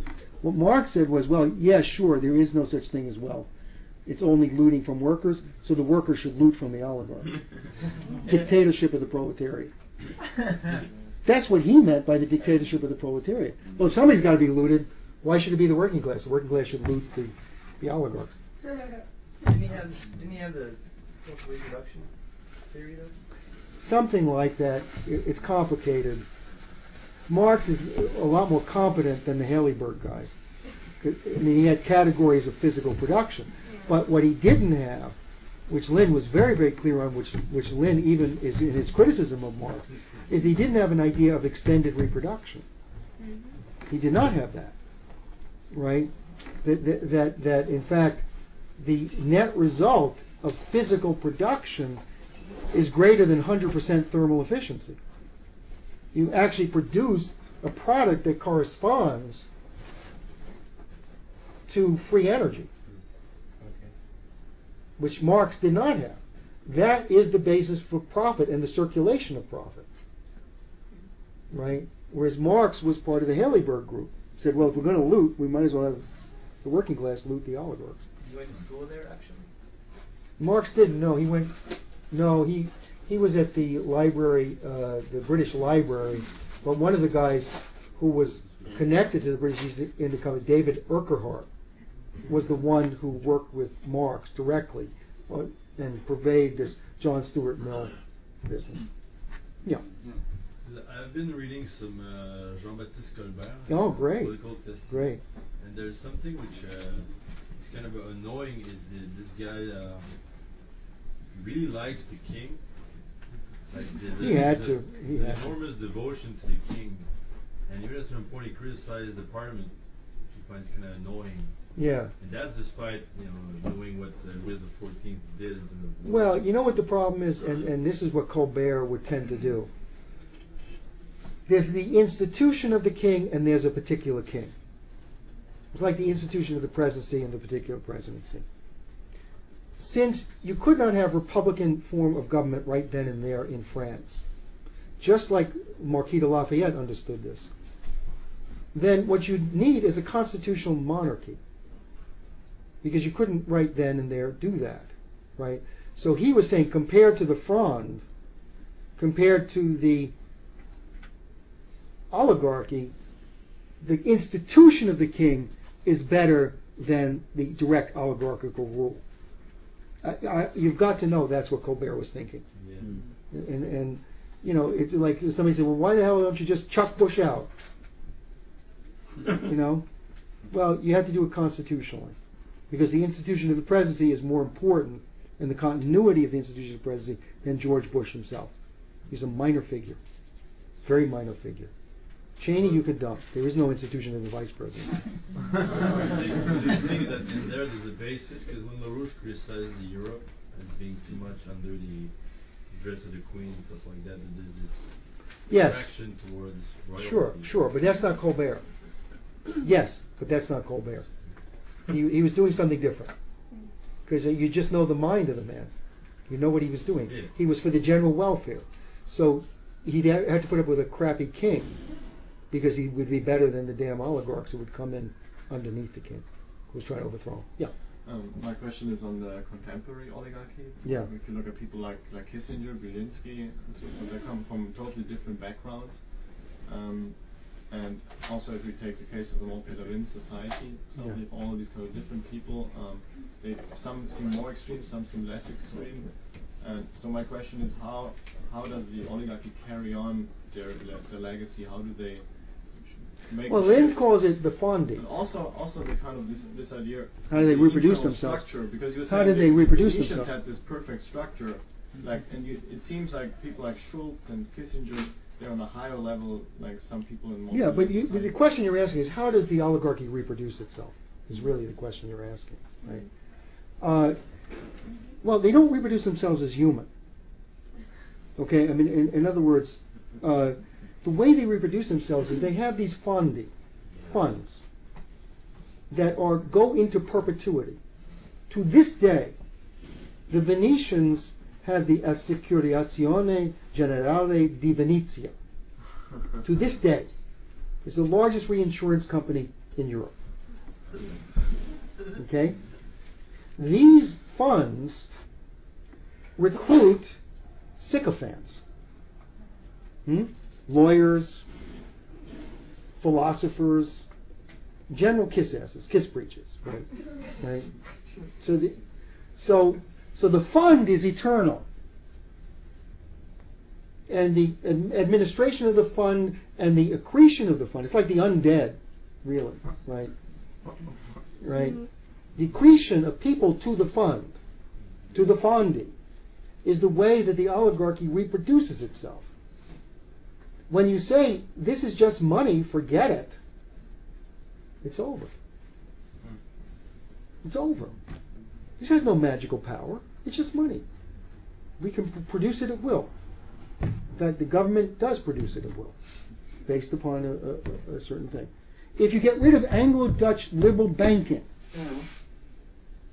and you bankrupt, because every single one of these fondi are now bankrupt because they all bought into the hedge funds. They lose their power. It's like the wicked witch of the West, right? You throw water on her, she's gone, right? She shrivels and goes. What- What's the organizational structure among these different foundations and funds? It, it, it's money. Is there some formal structure like? Oh well, yeah, they men's like- clubs.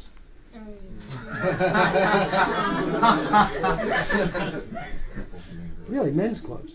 They, they, they, they organize themselves as part of men's clubs. Then they talk to each other. Do you mean like Freemasonry? No, no, that's too low level. I'm talking about like they go to the club and say, why don't we overthrow Somalia?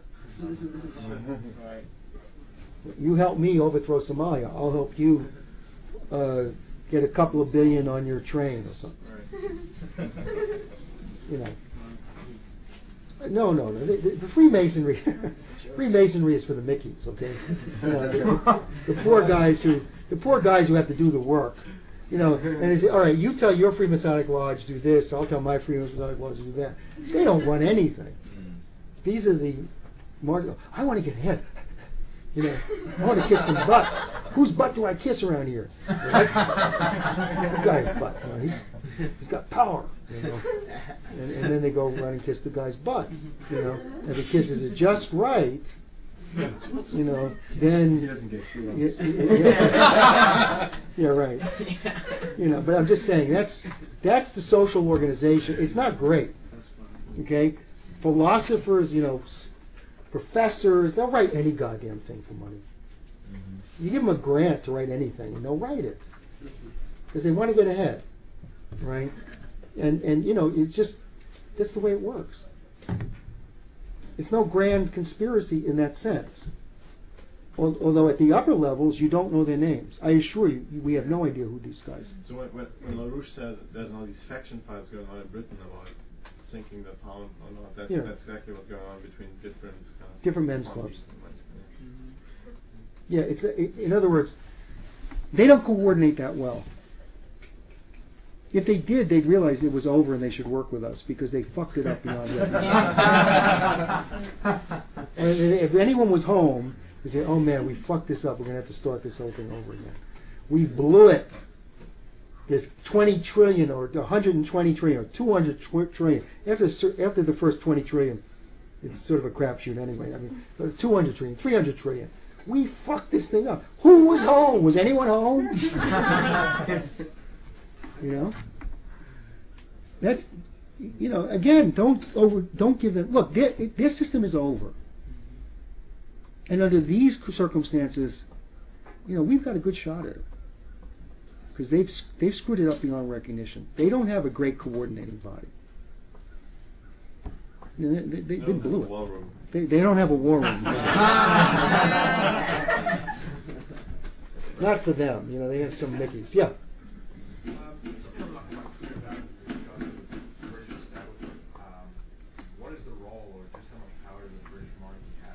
Monarchy has no power. They're just basically being played by the oligarchy? Sure, they have no power. Uh, the guys who run their money have power. It's it's hard to tell. You know, it, um, somebody more expert at that. Look, they have a large fondi.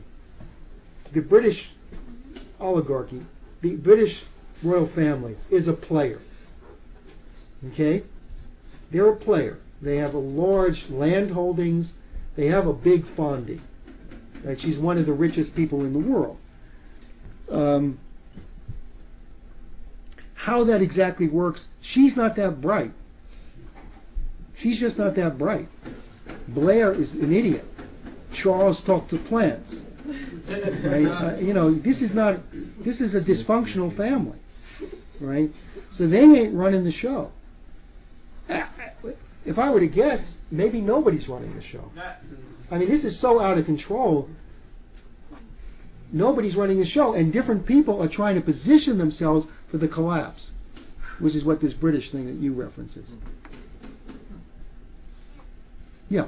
What role did Bertrand Russell play? What was he? Well, you know, it's interesting. The British, you, you know, the I don't. Have you ever heard this story of Colonel Blimp? Well, there's a character in in, in uh, these uh, Gilbert and Sullivan uh, operettas, uh, and there's a Colonel Blimp. He's always the big, bumbling, colonial stupid British oligarch, right? Which was a, was which is a type. It doesn't not aware of anything, totally crass, you know. So Britain had gotten into a, a situation where these Colonel Blimp types had blown it beyond recognition. You know, they killed too many Indians, they killed too many Chinese. The Opium War was even too much for the crown. You know, to, to, to make people grow tea so they could trade it for opium and force the Chinese. This was even too much for Queen Victoria, right? So there had to be a reform of the British system, right? Just a reform to make it more efficient, not to get rid of it, but to make it more, efficient. And this became the Fabian Society. This was the Russell, and this was H.G. Wells, right? And the Fabian Society was for British reform. It was a, it was a it was a British reform. It was not a uh, a change in the system. So Bertrand Russell, who was uh, I guess the grandson or the son of Lord Russell of the Fabian Society and the Round Table, uh, uh, was part of the British reform. They were too stupid and too brutal to continue to run the world. Uh, so they, they reformed it. Uh, and again, Bertrand Russell, um, you know, Lyn called him the most evil man of the 20th century, Mm. which is true because the core of Russell, which was very fundamentally this question of man. What is the nature of man? Hmm? And and they needed in each turn of the situation that you had to reestablish that epistemology, otherwise they would lose everything. So I, I think that's sort of the way to look at this.